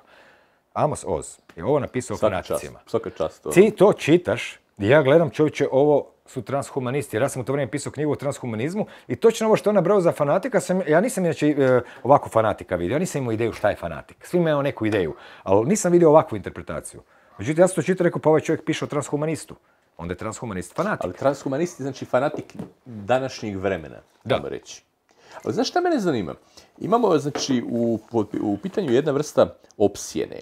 Ovaj, i, ali ti ljudi prodaju ti jednu priču. Znači ovo, znači on te želi promijeniti, ali ti govori za nešto za tvoje dobro, nešto lijepo ti čeka i tako dalje. E, nikada se nekakva zločesta namjera ne e, deklarira kao zločesta. Hello! Kuš, pa to nije logično. da, da, znači, ali kako da mi e, iza tih lijepih riječi prodremo do suštine? Vrlo jednostavno. Shvatiš jednu formulu. Samo počneš koristiti inverziju, inverzivne riječi i shvatiš novo orlovski riječnik. Znaš, ono, kad god piše ja sam tematski zaraženi, ti čitaš zdrav. Kad god piše teorije urote, ti čitaš istina. Kad god pišu, i tako uzmeš kroz rečnike kreneš i ti ćeš vidjeti zapravo kako se moja prva knjiga iz ovog žanra, iz ove, sve piše u novinama, samo ponešto i ne. Sve piše u novinama. Samo trebaš promijeniti. Znaš, kad recimo je davno rekao Obama Barak, internet je velika pretnja demokracije. On je zapravo rekao, internet je velika e, prijetnja e, mojim gospodarima koji su protiv demokracije. I tako dalje i tako bliže. Znači, ako prihvatiš princip, tako sam ga primijetio. Primijetio sam da je sve velika inverzija. Nije malo drugačije, nego inverzivno. Jednostavno, gledaš u suprotno. Jer, e, kako se zove, to što stiže od vrha sustava, kao prvo ćeš uočiti da sve te ideje kojih su pune sve novine na svijetu, funkcioniraju ovako. Na svijetu imaš četiri ili pet glavnih novinskih agencija. One proslijede jednu vijest svim državnim novinskim agencijama, one to prenosi kao istinu. Kad nešto prenese Hina, jel ti znaš jesu li oni to istražili? Ili su prenijeli od Reutersa? Ali otkud ta informacija Reutersu? Je mu neko javio ili neko bio negdje? I onda kad uočiš jednu, rekao bih, mrežu određenih organizacija koje upravljaju svijetom, ti ćeš vidjeti uvijek da ono što si prije čitao u novinama kao ideju, nisi obraćao pažnju ko to govori. Kad počneš obraćati, vidjet ćeš uvijek da je isto. Kad je globalno zatopljenje, uvijek je ista Anglija, sveučilište uvijek. Kad je, uh, ili IPCC, International Panel for Climate Change. Znači ti čitaš tone članaka, sve te tone članaka dolaze iz dvije institucije i priču samo jedno te isto. A ti misliš da si ih pročitao puno. Svjetski ekonomski forum. Pazi, a najveća zamka je u nazivima. Pazi ovo, evo, 2015. ti je Europska uh, unija ili komisija zapravo napravila jedan svoj odjel e, koji se bavio uvođenjem e, ovog digitalnog identiteta. Ono što je Klaus Schwab, šef svjetskog ekonomskog foruma, rekao da je naša budućnost spajanje fizičkog, digitalnog i biološkog identiteta. Pa bih lijepo zamolio ljude da si razmisle što to zapravo znači. Ovo su samo riječi. Spojit ćemo fizički, biološki i digitalni identitet. U redu. Čekaj, što to zaista znači? E, i kak se zove, e, koja je sad bila malo prije tema? Došao sam tu ovako, ne spamiram. E, a ne, htio sam samo reći ovako. Ti kada vidiš, da, spominjao sam dakle te institucije, IPCC za ovo i tako da. Ti ćeš zapravo s vremenom vidjeti ako upoznaš te sitne ovo, da čim vidiš jednu rečenicu, možeš reći ovo stiže iz tog izvora i svaki put ćeš pogoriti. Znači, to su strogo nadzirani izvori koji jednostavno uh, oblikuju ljudska uvjerenja. Jer ono što je rekao Herbert George Wells u knjizi Open Conspiracy, oblikovanje filozofskih i kulturnih uvjerenja o stvarnosti, ideja o tome što je stvarno. A to ti nije ništa drugo nego koji je sljedeći korak. Ako je to urota, oblikovanje uvjerenja, kako je on nazvao, onda znači da ti radiš što?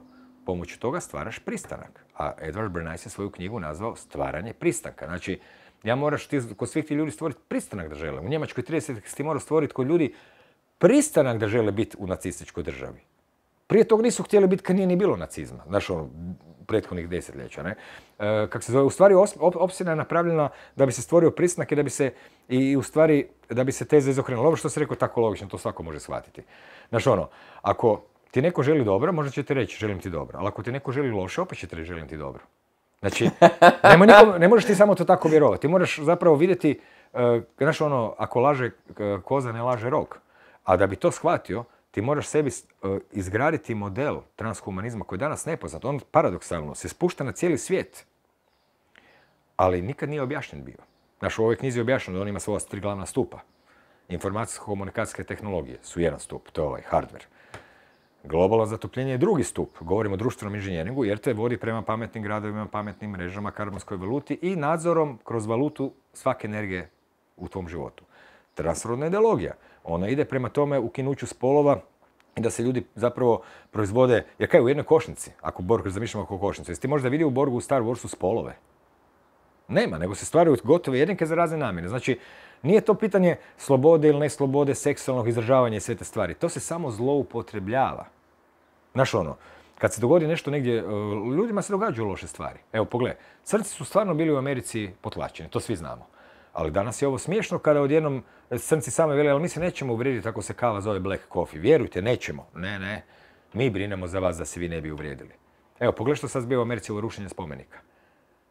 Znaš, ovo je... Da, da, da, to je histerija prava. Gled, da se ne razumije, ta histerija ti vlada samo u specifičnim ozračima. Obično ova, ova liberalna struja e, je fenomenalan rasadnih tih takozvanih korisnih budala, koje uopće ne znaju čega su dio, ali su im prodali priču. I sad oni kažu, George Washington, leko je, neki, bio je e, robovlasnik, mora ga maknuti. I meni pala ta ideja na pamet dok sam sjedio u kafiću, neki ljudi su pokraj mene, neki tri čovjeka su pričali upravo o tome. Jedan čovjek je rekao, pa ček ne razumijem, što ćemo sada maknuti kralja Tomislava zato je ubijao avare. Ne znam, od, prilike, da. Ali to ti je to. Ja si mislim, čekaj, čekaj malo. Ako iza svega postoji skrivena agenda, Makno Meštrović spomeni, kao vidi kako je prikazao indijanca, rugao mu se. Znaš, pretipizirano. Mislim si, čekaj malo, ovdje se radi o nečem dubokom, jer ove korisne budale samo kroz te svoje slogane to rade. Oni, oni zapravo su... Total... I ne znaju šta rade u biti. Ono. Oni totalno, oni misle se bori za slobodu, a u stvari intenzivno grade na gradnje kaveza. I šta se dogodi? Odjednom ja si mislim, čekaj, čekaj malo. Pa oni ruše mitove. Pazi, ljudsko društvo je tradicionalno živjelo u mitovima. Znaš, ono, imaš heroje nekakve... Ne samo čak heroje, mitovi. Znači, nekad davno si imao mitove o svijetu, e, mitove o principima, mitove o kataklizmi, imao si mitove o bilo čemu. Onda s vremenom su lagano iz društva nestali mitovi i onda se u 19. stoljeću stvorio mit nacije. Znači, što je nacija? Nacija ne postoji dok nema himnu, dok nema grb, dok nema zastavu. Znači ti identiteti su se spojili kroz to troje. Prije bi to bili regionalci, od kuci, Zagora, ti Pušća Bistra, ti, ono, Osijek, ti Split. Sad odjednom, ili u Njemačkoj, pa Bavarci još dan danas e, vrlo rado navijaju protiv njemačke reprezentacije. Znaš ono. da, da, da, da, E, i uglavnom, uh, kak se zove, znači to je sve nema Jer imaš mito nacije u nedostatku drugih mitova i taj dobro služi. Evo, zapite se recimo, šta bi bila recimo, evo, Jugoslavija u svakodnevnom životu da nije bilo mito o Njemcima i partizanima? Naizgled ta priča o Njemcima partizanima nije u svakom aspektu života jer se ti baviš nečim drugim. Ali zapravo, šta bi ona bila kao ciljena da nije imala taj mit? Kužiš? Odjednom pa zamisli, zamisli Jugoslaviju bez mita o partizanima i Njemcima i Titu. kohezivni faktor ono. Ništa, ili pogledaj Hrvatsku. Zamisli da Hrvatska nema mit o Tomislavu, o kralju Tomislavu ili Krešimiru nekog. Šta bi ona bila? Šta bi bilo koja bila? I sad šta se zbiva? Odjednom ja skužim, pa da, korisne budale uvijek rade u tom smjeru, sad ruše mitove. Zašto? Jer očigledno dolazi vrijeme za neki novi mit. Globalni, to da se-. Da zato de- e, dekonstruiraju nacionalne države. Ajmo reći, ako se svijet globalizira, ako se te nacionalne države stvarile sa namjerom u 19. stoljeću i tako dalje, one su sad postale smetnja. jel Tako je. Ma gle, sve je očigledno. Znači, pod pričom nacionalizam, bed, ovo, ono, na stranu Gle, nacionalizam ovako- može biti i ovakav i onakav. apsolutno. O čem se radi? Ti si prvo htio, ajmo reći ovak tehnički. Zamisli da imaš zadatak. Evo, a, a za ovaj, evo, za ovaj mentalni eksperiment. Čovjek treba prihvatiti jednu nama dosta tešku činjenicu, za prihvatiti, da postoji netko tko razmišlja transgeneracijski. Jer mi ljudi ne razmišljamo. Mi razmišljamo o djeci, unucima, ne kad će biti za 200 godina. Ali evo, očigledno neko postoji. Ako ne laže koza, laže rog. Ili je to sve samo moja interpretacija? Ok, moja je, ne, ne mora biti ničija druga, stvarno. Ja nisam transhumanist. Ne želim nikog ni u šta uvjeriti. Uglavnom, kad si ti trebao prvi put okrupniti, pazi kako je Evropa izgledala, carstva, više nacionalno sa nekim državicama ovo ono. I Sad ti trebaš raditi, radiš ono globalni sustav.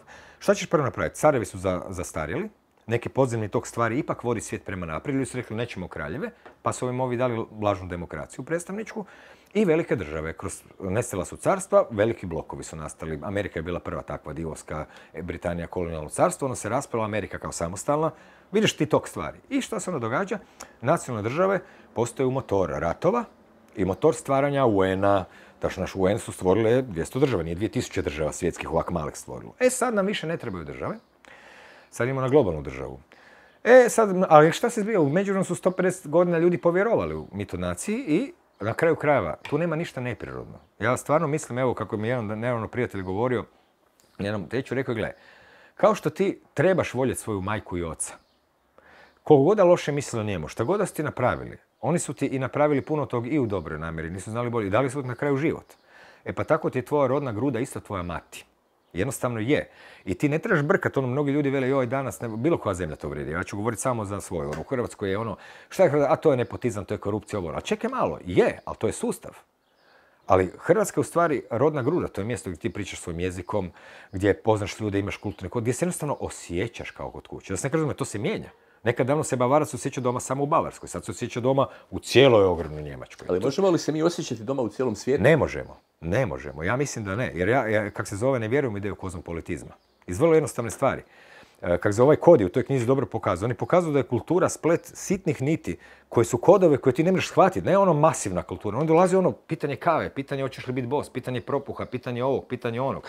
I Što je lokalnije, zapravo se bolje osjećaš u tome, pa reći. upravo tako. I kužiš, za mene, ja recimo kozmopolitizam. Ja mislim da ne postoji čovjek koji je svuda doma, a ako on to i misli, drugi ga neće tako gledati.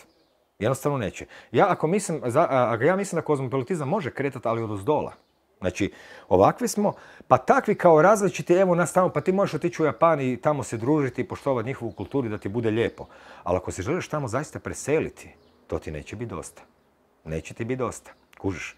On je rekao, joj imam tu problem, nemam svojih prijatelja Amerikanci, izgubio sam kulturnu vezu, fore. Znaš, mi imamo sad slične fore, sličnu muziku i tako dalje. I što se sad dogodilo?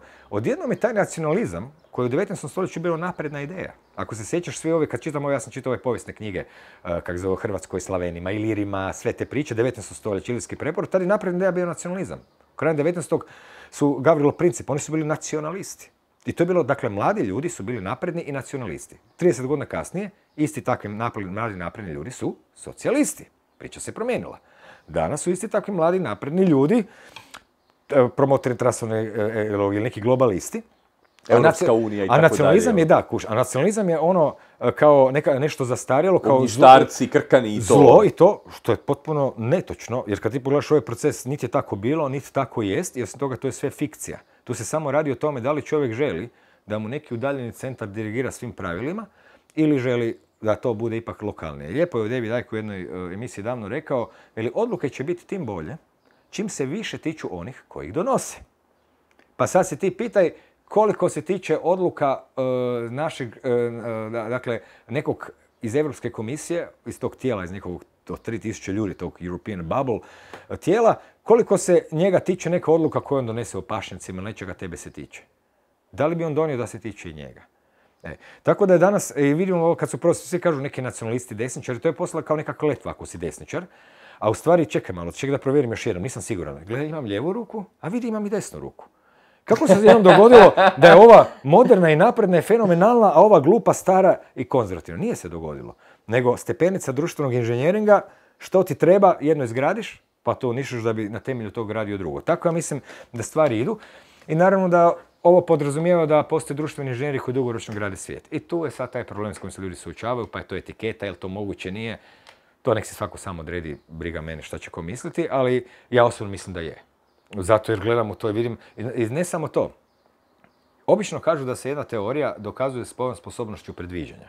Znaš kako ono, ako je teorija dobra, onda će ona predviđati događaje, da li bilo reći o fizici, kemiji, biologiji, čemu. Pa ovo što su nazvali u kontekstu društvenog inženjeringa, precizno, ali i zlobno, teorija urote, ja kad sam počeo gledati tim svijetom, znači teorija urote nije posebno, nego znači da su stvari povezane, umrežene, da postoji plan koji se odvija, nekakva agenda koja se sad vidi, opipljiva. Ja ti mogu reći da je ta moja teorija urote se meni pokazala dobrim alatom za predviđanja. Jer sam, događaju se događaje koji ti se čine da su nešto drugo. Iz novina, ona kada... Ali ja sam se čekaj, čekaj malo. Prema teoriji urote, ako je ona u pravu, zbiva se ovo, pa će onda biti ovo. I počeo sam pogađati. Ne zato sam bio prorok, nego zato svako može pogoditi. Znači, danas ne moraš biti veliki prorok. Ono, kaže, daj napravi ovo, pa će onda biti ovo. Ti to napraviš, pa onda ne bude to. Evo, najbolji primjer to.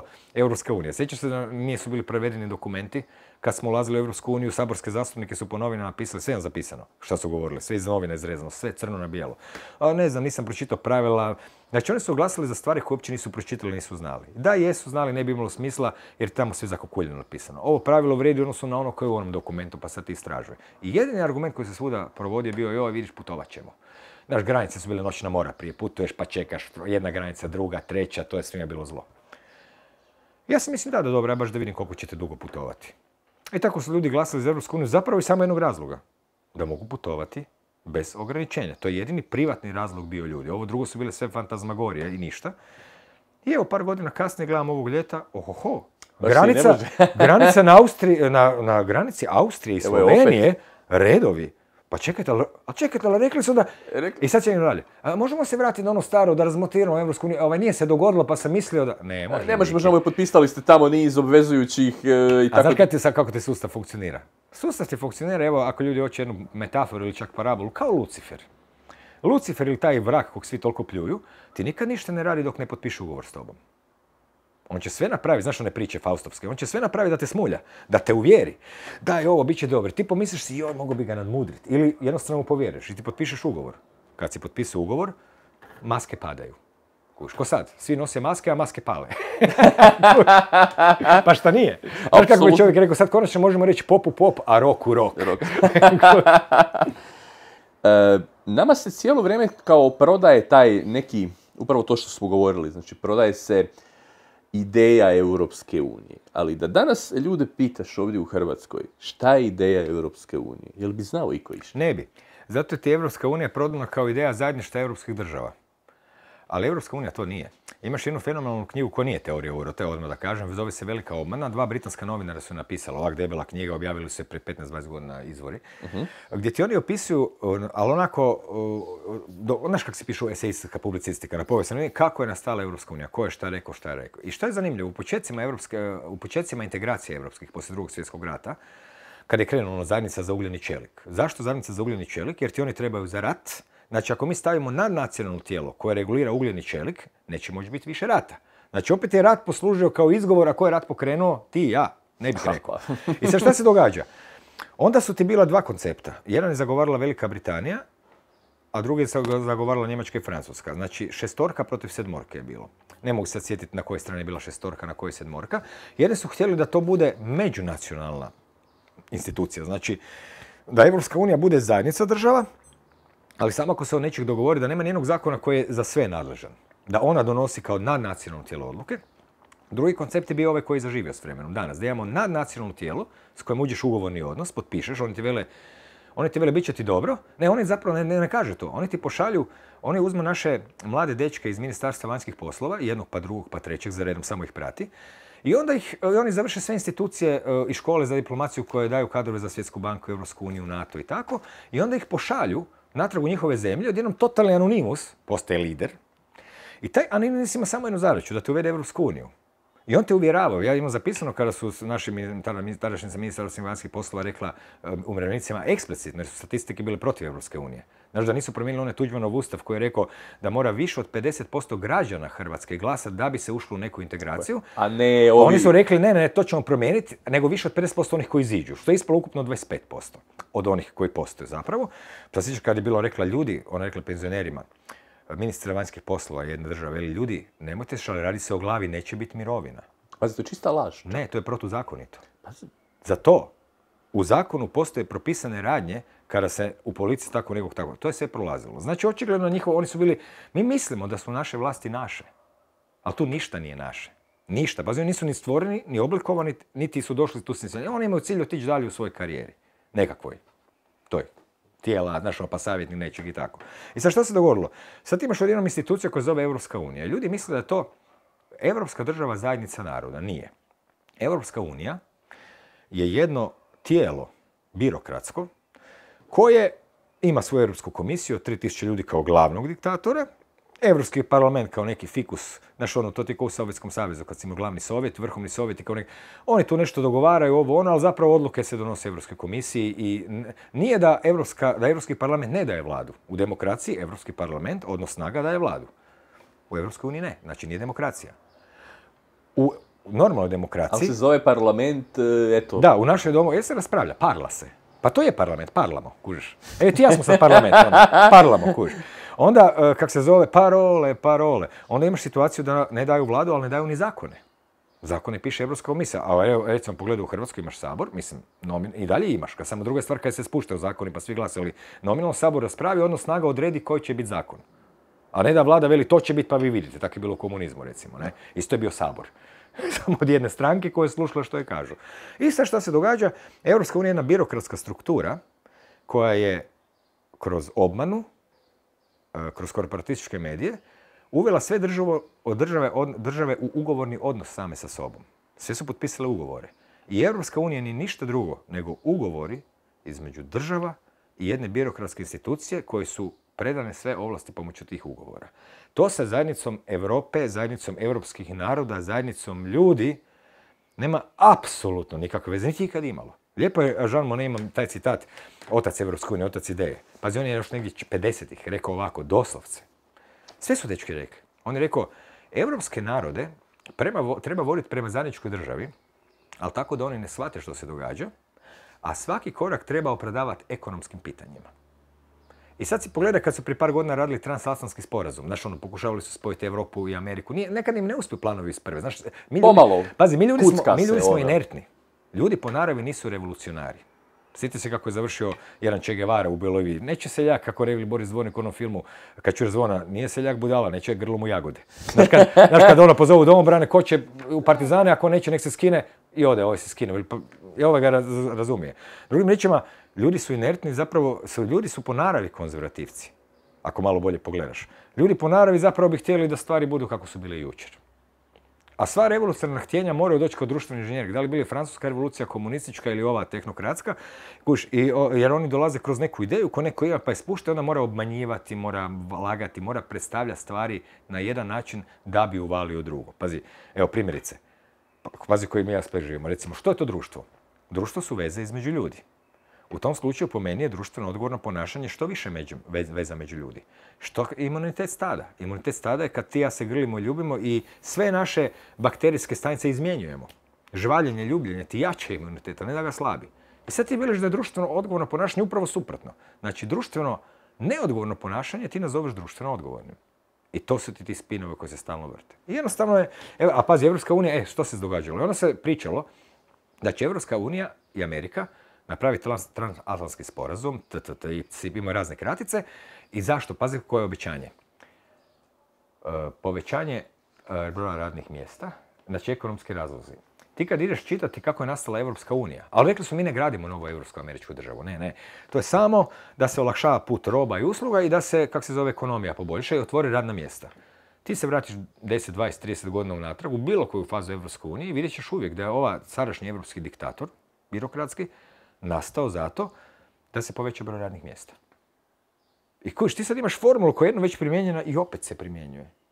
Ali ljudski zaborav... Dva puta istu foru prodaju. Dva puta. Svaki Mislim, dva put. puta i više puta. Svaki ono. put. Ali daj mi stvar reci. Zašto mijenjati foru koja radi? Pa, nema potrebe. To je... Pa to je bi dobre fore. Našao si foru koja radi i udri s njom. A znaš što je meni fora? Zato jer ta se po- fora temelji na re- interpretaciji svijeta koju imaš. Ako imaš drugčiju interpretaciju, onda ćeš je vidjeti. Ako nemaš, Meni, meni je apsolutno fora da su oni recimo vrh Europske unije apsolutno nedemokratski izabrani. Nikad nisi čuo za te ljude. Ja za tu ženu, Ursulu von der Leyen, nisam čuo dok je nisu doveli od negdje iz nekog ureda i stavili tamo. A čekaj, si možda čuo za našeg premijera jednog, za našeg premijera drugog, za, jesi čuo od kud se oni pojavili? Došli iz nekakve europske institucije, uopće nikad ne... Pa se sjećaš onog koji nije znao ni hrvatski Pa pričati? da, pa mislim, pa to je Sad se, pa sad se čak ne mu sjedni kak se zove. Tihomir Orešković. Tako je. Ali pazi, mislim, njih smo nominalno kao izabrali. Ovu niko nije ni glasao za nju, ni čuo, ni ništa i sad je ona, i ona stoji i ona tebi dijeli lekcije o demokraciji, mislim. Čovječe, ono. Pa gle, da se neka stvar, jedini onako kad bi ljudi sebi htjeli priznat i reći sebi ljudi, gledajte, ajde da sami sebe ne lažemo, nismo mi tak fini, nismo mi tak dobri, imamo neke osjećaje, ajmo ih izraziti. Ja mislim da bi mnogi takvi osjećaji završili s jednim paradajzom koji bi letio. Kad bi ljudi bili iskreni prema sebi. To je ono što ljudi zaista osjećaju. Samo, samo i na njih je prebačeno to da moraju sve fino. I znaš po meni, ako ti neko dolazi i fino ti priča, jako loše i zle stvari za tebe, a ti ih razumiješ, zašto bi ti morao biti fin prema njemu? Razumiješ? Da, evo, ono, evo, uzet ću drastični primjer. Ne znam, konc logor dođe onaj Mengele i uzme nekog zatvornika i fine prema njemu, ali mu želi zlo. Šta bi sad taj zatvornik morao biti fin prema njemu, jer ovo je fin prema njemu. Znači, ako pronikneš o čem se radi, ja to ne ja kad vidim recimo te ljude, meni za njima ne postoji nikakav respekt za njih. Ne samo da ih ne gledam kao moćne ili kao ugledne, nego ih ne gledam ni kao stručne i još si zamišljam šta se događa kad odu u onu sobicu gdje su im rekli da će oni biti to i to i kako opet odlaze tamo. I ko tu zapravo je veći rob i kome. Znaš ono, tako ja, ja zapravo tu, te, tu vladajuću garnituru gledam kao onako uplašene robove koji su dobili, ko korporaciji? Dobili su zadatak, svi korporativni direktori znaju, zato i pucaju. Dobivaju normu, odradi ili letiš. Ako odrađuješ, dobijaš lovu, stan, ako ne doviđenja. Odradio si normu, Evo sljedeća, dok radiš poslije, svi to oni znaju. I onda dolazi i onda se pravi da su kulturni, obrazovni, a zapravo su oni niš. Oni, ja garantiram, ja toliko imam vjeru u naše ljude, da garantiram da su tu ovi ljudi koji ću sresti po ulici tak dalje, da ću naći obrazovaniji i pametniji od njih u prvom kafiću. To ja mislim. Kužiš. Ali nažalost, kao što si vidio knjigu, oni su jednostavno fanatici. E sad, da li su fanatici ili su samo koristoljubivi za sebe? Znaš kako se, kako se ljudi na vladajućim pozicijama opravdavaju stvari? Oni znaju što rade.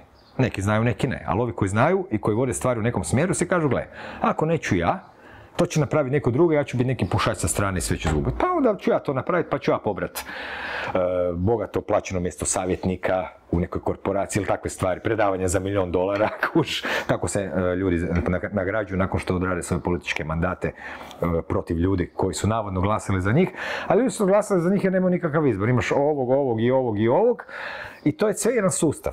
Znači, sustav je toliko usustavljen da si ti cijelo vrijeme unutar sustava.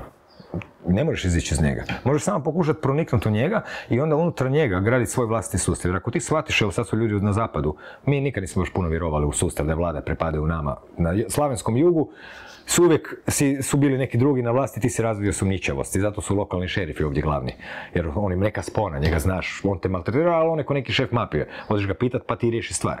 Ko onaj kum, znaš ono. Da, da, da. A ovdje, ovdje recimo, gdje su vjerovali u taj sustav, sad su se grdno iznenadili. Ali ako sustav nije tvoj, onda ga ti nemaš ni pravo popravljati, niti ga možeš popraviti u svim razinama, nego moraš početi smišljati svoj sustav. Kuš, to je bila pouka. A svoj sustav, ne sustav kao transkomunisti, ajmo smisliti novi sustav svijeta. Pa ovo, nego svoj vlastiti mikrosustav. Kako ti želiš živjeti, kako živiš sa svojim prijateljima. I to ne mora biti sad sutra, preksutra, ali da imaš neku ideju, kužiš šta je pravo, šta je krivo, šta tebe zanima, da shvatiš da ti je doživljaj bitan, da su ti odnosi s drugim ljudima bitni, da tako želiš živjeti, da ti svaki dan možda drugačiji i onda ćeš vrlo lako vidjeti kad se nešto, nešto nameće što je suprotno tom nekom tvom, ne bih rekao idealu, jer ideal proizlazi iz mozga, nego više bih rekao e, jednom iskustvu što znači sretan i ispunjen život. Kuš, to nije baš tako lako pitanje, mnogi se s tim nose. Mnogi se pitaju šta je to, kuš, život ne nudi odgovore, on nudi pitanje, on zapravo nudi jednu zanimaciju. Kužiš, a zanimacija je u promjeni doživljaju. To ti je ono onaj film Idiokrasi, ako si gledao. Da, no. Fenomenalan film, čovjek na kraju, kako završi čovjek, evo ovako, sjedi u naslonjaču, jede čips, ali naslonjač u stvari školjka. Znači ono isto vrijeme, znači ono i jede i probavlja i gleda film na televiziji koji se sastoji samo od toga da, ne znam, neki frajer skače i zove se Oh my balls. Znači, frajer konstantno pada na ograde i nabija se i viče i to je jako smiješno. I sve je puno reklama. Taj film baš nije u Americi e, e, mogu ići u kina, previše je podsjećao na Ameriku. Jer Amerika, nažalost, Amerika, nažalost, nije zemlja koju čovjek treba okrivljavati za ovu zonu, nego ono u stvari prvi društveni eksperiment tog tipa. U vrijeme dok su bile kraljevine, jedan jedna ruka, ajmo reći, skrivena, engleske koja je stvorila koloniju, se potrudila da se tu napravi i da se tu stvari novi model. Je li ona eksperiment? Pa gledaj, nije ona eksperiment, ona je sljedeći, next stage. U tom smislu Nije vidimo kako će, pa ide dalje. Onda. Nije eksperiment, nego sljedeći korak. Aha, idemo bez kreda, da vidimo, idemo se napraviti, znaš, onda postaje Amerika postaje loser. Pa, pa Amerika je zapravo prvi primjer nečeg što nije kraljevina i carevina, a da nije ni pleme, jel tako? I onda dalje jednog dana, sad mora reći ga Amerika, kako vele u filmu, must go down. Jer sad kad se radi globalna država, sad ti više, sad ti smeta ona velika država koju si prije imao da bi to isto radio. Jer kuš mi zaboravljamo da kuš Amerika ima, znaš onda ti da veliš da Kinezi imaju 5000 vojnih baza po svijetu, rekao bi da su Kinezi obirali svijet. Amerikanci imaju 5000 vojnih baza po svijetu. Još dan danas u Japanu drže 50.000 vojnika. A mi, kako mi, mi nazvali kad bi 50.000 vojnika od jedne zemlje bilo na teritoriju druge zemlje? Jel bi to nazvali okupacijom? Pa u najmiju ruku. Ovaj. Ali vidiš, nije. Ne znam kako. Ali moraš za početak znati. je li? Pa ne, sve stvar marketinga. Marketinga. Da. A ko se onda danas protivi toj ideologiji koju bismo uvjetno mogli nazvati globalizacija? Ko su ljudi u organizaciji? Postoji li neko ko je glas protiv toga, artikuliran? Ja mislim da se protiv toga jednostavno bori ljudska narav. Znači, zato ovi transhumanisti moraju čak i ljudsku narav promijeniti. Jer sustav u kojem se niko određeno ne bori, nego svi osjećaju animozitet, takav otpor je neuništiv. Ti ćeš uvijek neku organizaciju lako hakirati. Skupe se ljudi, nešto rade, njihov, njihovog šefa ili ucijeniš ili nešto i cijela organizacija je tvoja. To je princip koji je Edward Bernays davno rekao. Ali danas se protiv tog sustava budi sama ljudska narav. On je toliko, pazi, kad kažem neljudski, ja ne kažem da on loš, samo kažem neljudski. I mravi su neljudski, i ribe su neljudski, i termiti su neljudski, znači ništa tim ne govorim loš. Mi kad kažemo neljudski, obično mislimo, o, on je jednostavno neljudski. Mi smo ljudi, on je neljudski. On nije ni za, on je dobar, on je neljudski, mi smo ljudi, on nije za nas. I danas se sama ljudska narav budi protiv toga. Baš onaj, ona, ona, ona jezgra koju smo zaboravili zapravo čak skoro da imamo, jer se svijet nije činio toliko neljudski, pa se podrazumijevalo. A mi smo ljudi, ovo neki ljudski svijet. A sad odjednom su pitanja, kušnje, šta je tu, šta se zbira, što je čovjek, što želi od svog života i sa drugim ljudima. I mislim da se budi narav. I onda su zapravo danas mnogobrojni to su zapravo, makar jesu razni e, organizirani i sitno, ali to su više samo organizacije ljudi. Znaš, ono, to nije ono, neku operativu Pokret moraš za sve ima. to, da, da, da. nije. Nikakav politički pokret, jer nema nikakvu političku agendu. To je pokret koji veli, samo, cijeli pokret veli, pustite me na miru da budem čovjek. Da se družim s ljudima, da, kak se zove, radim što hoću, da, znaš ono, u smislu, mislim, da radim što hoću. Ne mislimo sad tu na ubijanje te stvari. Ali to ti je to. I zato, I zato je ovo u stvari možda e, jedan, jedna prekretnica, jedno križanje. Jer nakon ovog e, nema više natrag, a naprijed se može na dva načina. Transhumanistički i ljudski. Ali do sad nije bio izbor. stvarni izbor? Evo, z- zašto Imamo, to da. pitam? E, ako je nekada davno tim ljudima e, nije bio e, dostupan alat u smislu tehnologije koja danas postoji. Govorimo o ovim računalnim tehnologijama koje su nevjerojatne baze podataka u svemu nama. Imamo smartfone, imamo ovo ono. Znači, mi nećemo napraviti korak nazad. Ali koji je naš onda izbor nas pojedinaca, mene i tebe? Gdje je ta točka da mi napravimo, kažem, aha, neću ovo, hoću ono. I koja je cijena? Pa meni se čini ovako, evo sad ću ovako gledati što sam vidio u zadnjih godinu i pol dana su bili vrlo poučni. Recimo, kad je trebao biti drugi lockdown, si vidio kako su ljudi masovno bježali iz gradova. Francuska, Pariz, London, to su bile e, stotine e, kilometara kolona auti. Znači, zaključak broj jedan. Gradovi će ostati transhumanistima. U gradovima su kamere, u gradovima su centralna grijanja, u gradovima su ovo, u gradovima su ono. Ljudi će pomalo ići negdje drugdje. Tamo gdje dođu drugdje će se početi, to ja sad pričam futuristički, ne da će se to dogoditi u godinu, dve, tri, a možda i Pomalo, hoće. jasno. Ali sad, sasvim drugi profil ljudi će ići na selo. Neće više ići ono klasični seljaci koji tam već jesu, koji imaju zdrav razum, neki drugi ljudi koji će čoj, sad su ljudi shvatili da u njihovom dvorištu mogu raditi što hoću i biti po vani. Doduše, dok se to događalo, nisu primijetili da je naš sabor donio zakon da ne mogu sjajiti bilo kakvo sjeme u to svoj vrt, nego samo koje je propisano, ali nema veze. To ti samo pokazuje da vlast država ne pripadaju ljudima tih država. Jednostavno ne pripadaju. E, kak se zove, nemaju ni ti ljudi puno izbora. Ono, to ti ono, sustav je već postavljen, ti ga samo malo animiraš neko vrijeme. Tako da će ljudi morati nanovo sebe izmisliti. Mislim da će u budućnosti se moći, recimo, jedno pitanje su dva zapravo su pitanja, hibridizacije. Da li će biti moguće da ovaj transhumanistički sustav dopušta da postoji još neki drugi mimo njega? To je pitanje. Jer ti možeš zamisliti Postoji paralelni Pazi, već, danas, već danas ti 50% ljudi živi u gradovima. Znači ti preko 50% čovječanstva imaš u potpunoj ovisnosti. Jer grad je ovisnost o sustavu. Ali ljudi su uglavnom išli u gradove jer je u gradovima bila akcija, zabavno je bilo. A sad više gradovi nisu baš tako zabavni. Znaš ono, više nisu zabavni. Onaj glavni razlog je nestao. I ja mislim da će se ljudi eh, transformirati prema van, da će sad to biti ljudi koji će ići na sela, ali imati ne seoski mentalitet, nego neki drugačiji. Isto će barata tehnologijama koliko im treba. Znači da ti možeš i to i nešto drugo, ovisno, možda ti uvjetuju. Ako ti kažu da ne možeš zato nisi nešto napravio što traži, onda ga nećeš imati. Kuš, jednostavno će život ide dalje. A ljudi će se morati eh, pokrenuti malo, ali ima jedna stvar koja je u stvari tu jedan pojam. Ja ga koristim, možda neko bi drugi koristio neki drugi pojam, ali ono što bi se možda moglo reći kao, ajmo reći neka kritika ljudima, ono što je jednom David Icke rekao u emisiji, rekao je, gledajte, e, ljudi su zavedeni, izmanipulirani, to je istina, ali rekao, neznanje je i dalje izbor. To sam dugo razmišljao, da li je neznanje izbor ili nije. A je li stvarno iz? Gle, meni se na kraju čini da je. Zašto? Samo neznanje po sebi nije izbor, niko ti nije rekao pa ne znaš. Ali sam primijetio da ljudi e, kojima dođu, veli daj pogledaj ovo, daj pročitaj ovo, daj razmisli malo, daj pogledaj šta tu još ima, da ne žele. I rekao bih da bi možda izraz bio duhovna ljenost. Duhovna ljenost je u stvari jedan izraz koji za mene znači da ono, ne želiš razmišljati, ne želiš promijeniti, ne želiš se otvoriti, nešto takvo. Jel to ono, nezainteresiran sam za bilo šta osim neke uže o- okoline oko sebe? Pa ne, ne, ne bih rekao da je to to. Nije to duhovna ljenost. Ja sam recimo nezainteresiran za bilo što osim uže okoline oko mene.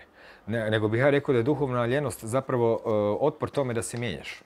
E, otpor tome da u svom duhu ideš dalje, da odbacuješ stare koncepte, ugrađuješ nove, da koncepte preispituješ pa gledaš šta jesu, šta nisu, šta je dobro, šta je loše, to se stalno mijenja. Znači, na neki način je duhovna ljenost način da se ti zaista suočiš sa životom. Ako si duhovno lijen, e, da se ne suočiš, ako si duhovno lijen, onda ti odgovara transhumanizam. Jer u sobi si gledaš na sigurnom serije, jedeš čips, sjediš na WC-u i ti si ništa, jedno veliko ništa. Ali, e, kak se zove, ako nisi duhovno lijen, onda svijet postaje zanimljiv, uzbudljiv, onda se svijet otvara prema tebi, kao što stara izreka kaže, kad ti kreneš prema svemiru jednim korakom, tek onda on prema tebi kreće s tisuću. Ne si ti na rubu, pa ajde, ja krenut ću, ali šta me tamo čeka? Je li E, to strah od slobode? pa strah od slobode, e, to možda i je strah od slobode. Možda jest, to bi trebalo razmisliti.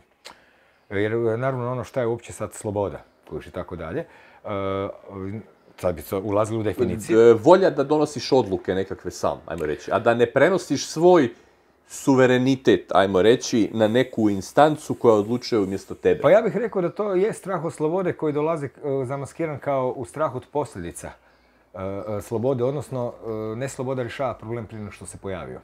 Pa ti nemaš problema s tim kako ćeš se grijati. Gle, to je taj paket, strah od slobode, duhovna ljenost. Znaš, mi smo tu u jednom problemu riječi.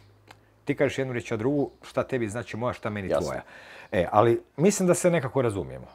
Ono, ako ne baš da, da imamo iste riječi, ali e, kak se zove, kako bi to rekao, strah od slobode. Nije to, zna- e, ali znaš kaj je pitanje? Šta je sloboda? Gle, ako ti misliš da je sloboda, sloboda od tog da te neko od izvana ne ugnjetava, onda mislim da si na krivom putu.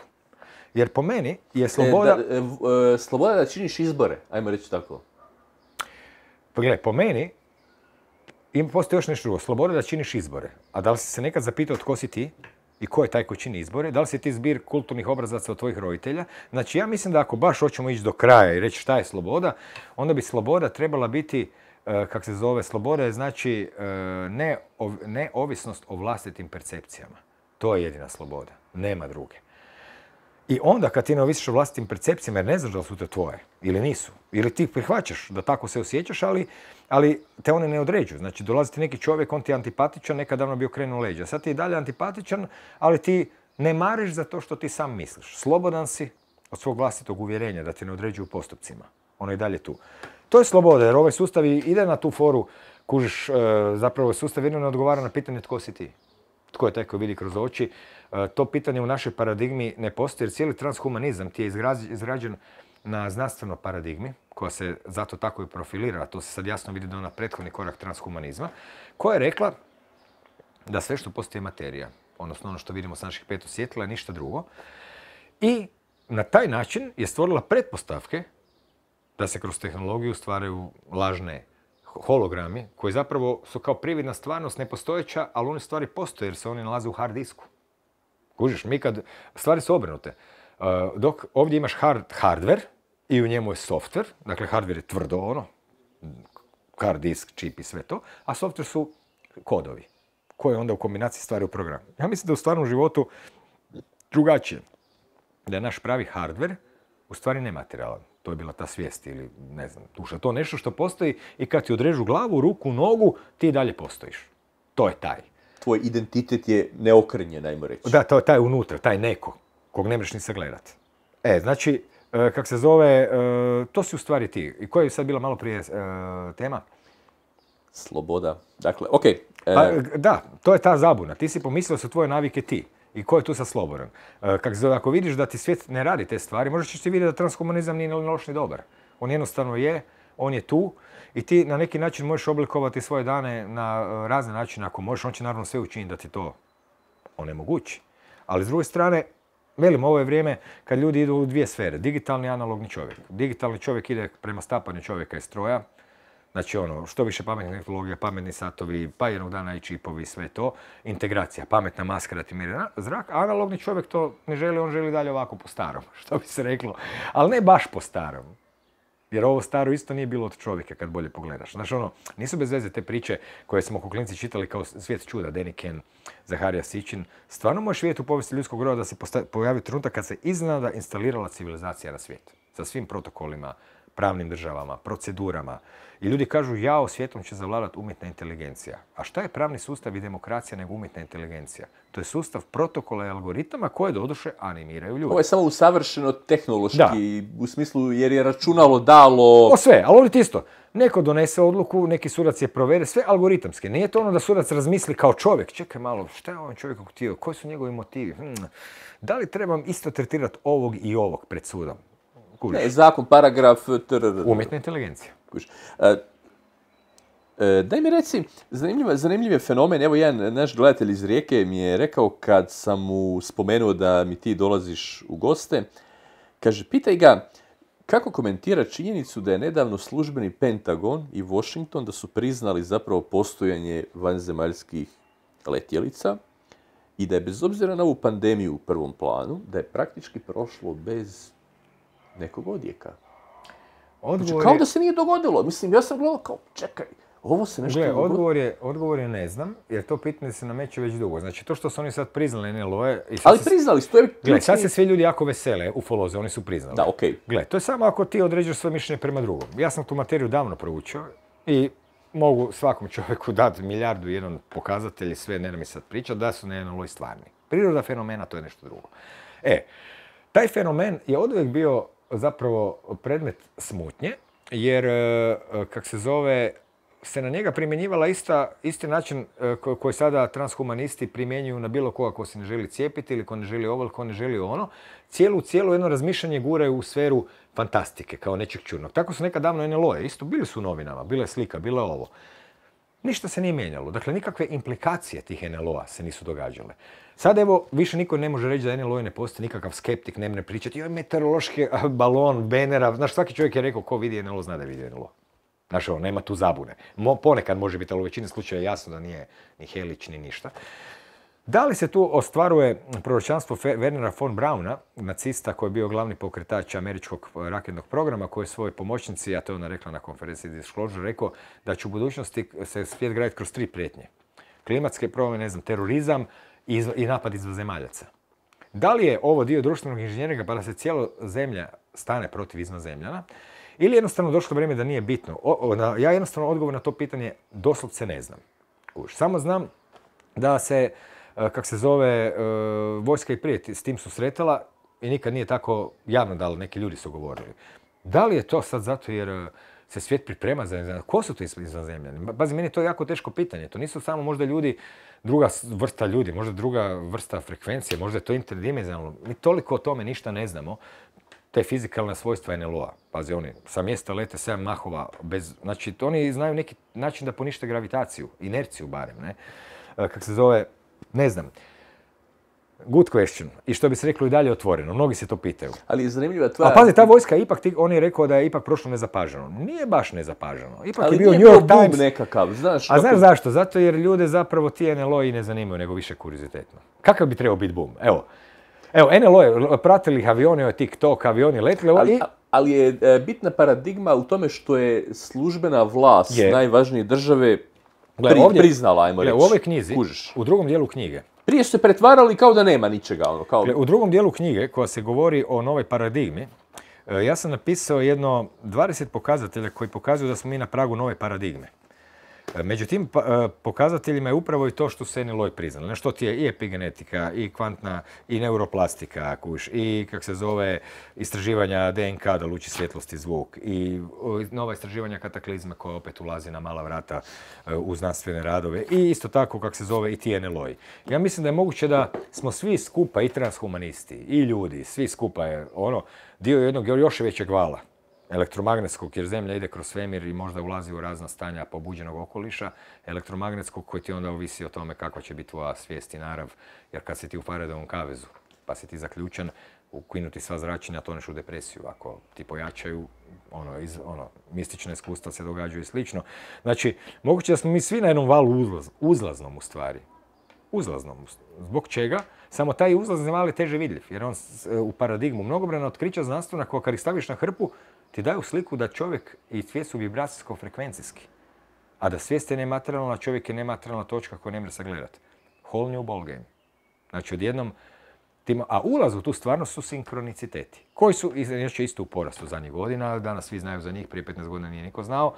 Šta ti sinkronitet govori? Da se svijet slaguje prema tvojim unutarnjim sadržajima. Odjednom granica između unutarnjeg i vanjskog pomalo nestaje, možda nikad nije ni bilo. Film Matrix su svi gledali pa znaju o čem pričam. Velim, to je takva tema. Malo je pjesnička, malo je filozofska, malo je znanstvena, ali kakav bi drugčiji život i mogao biti? Što te motivira u principu u tvom radu i e, što je u tvom radu ono što ti je dosad bilo najvažnije, najzanimljivije, ajmo reći? Koje su ti najvažnije teme kojima si se bavio? Gle, kad ti voliš moj rad, to je ono što ja radim, to nije samo rad kao nekakav uh, A ne mislim u klasičnom smislu rad, nemam bolju Ali ja sam u životu se ufuravao pet godina u sviranje pisane znanstvene fantastike.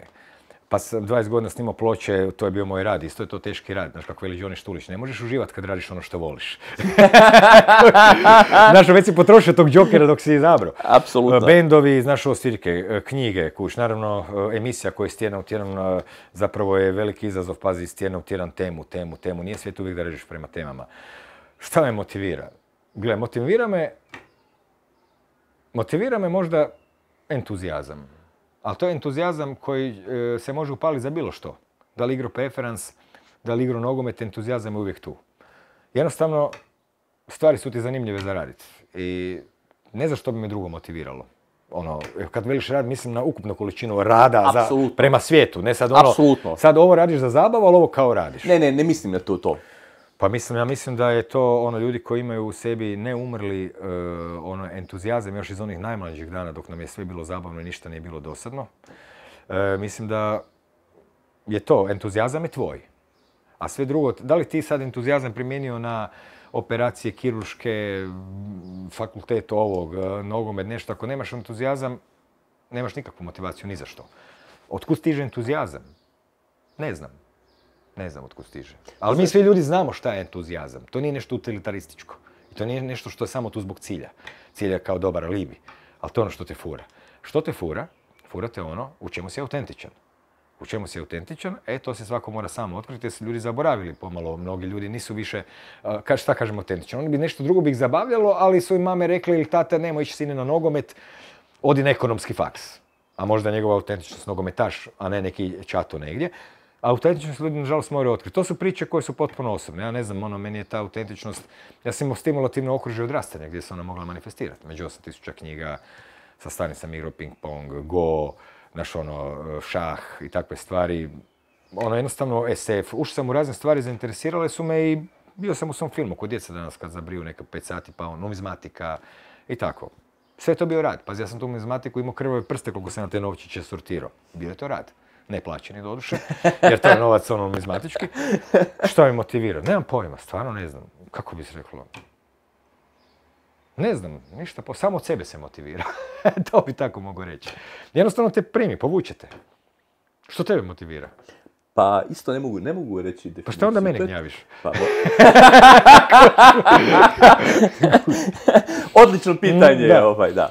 Dobro, ovaj, evo, e, super, hvala ti puno, hvala ti na tvom vremenu, hvala ti što si došao kod mene. A i hvala tebi Ilija, jer ovak kad me neko pita za podcast, ja ti nemam neki kriterij zašto idem negdje ili ne idem, nemam pojma. Ali e, recimo uvijek mi se sviđaju kada ljudi dođu s ovakvim temama kao što si ti sada došao, koje su zapravo, neko bi rekao filozofske. Mislim, gle, filozofske su, ali se filozofija nažalost pretočila u svakodnevni život. I To je neodvojivo. Neodvojivo je, pogotovo danas. Prije je još bilo kao odvojivo. Evo recimo nekad davno je bilo akademsko pitanje da li čovjek njegove misli ili njegova svijest. To je bilo akademsko pitanje. Danas nije akademsko pitanje jer se transhumanizam gradi na temelju pretpostavka da je čovjek njegove misli. Znači, cijeli svijet je na temelju pretpostavka, više to nije svejedno. Tako da je zapravo, kak se, osim što me ono danas, još sam kasnije što pa nešto glava kao boli, pa nisam bio najsvježiji, zato sam zaboravio rečenice, ali u svakom slučaju e, nije svaki dan, dan, dan, ne biraš ti dan, dan bira tebe. Ali, ali šta se događa, e, kak se zove, bila su mi ovako dobra pitanja. Jer to su pitanja gdje ono, kad postaviš ono, sto put sam o njima razmišljao, pričao, svaki čovjek ih postavi na drugčiji način i dati izazov i vrlo često ja u tim intervjuima zapravo u tom trenutku dođem do novih spoznaja. Do novih formulacija nekih. Sad se to isto dogodilo. Tako da, dobra su ti bila pitanja. Hvala. I znam da si imao jedan, jednu mapu pa si je i ostvario i nisi, ali Ali to je, ima ih i više, na kraju neka se preformuliraju u hodu i neka tako se dalje. dogodi unutar drugih tako. U svakom A, a- slučaju, kako je, mislim, moramo se rukovati za kameru. A, tako. evo, evo ga. Evo ga, hvala ti, a vama, cijenjeni gledatelji, hvala što ste nas gledali.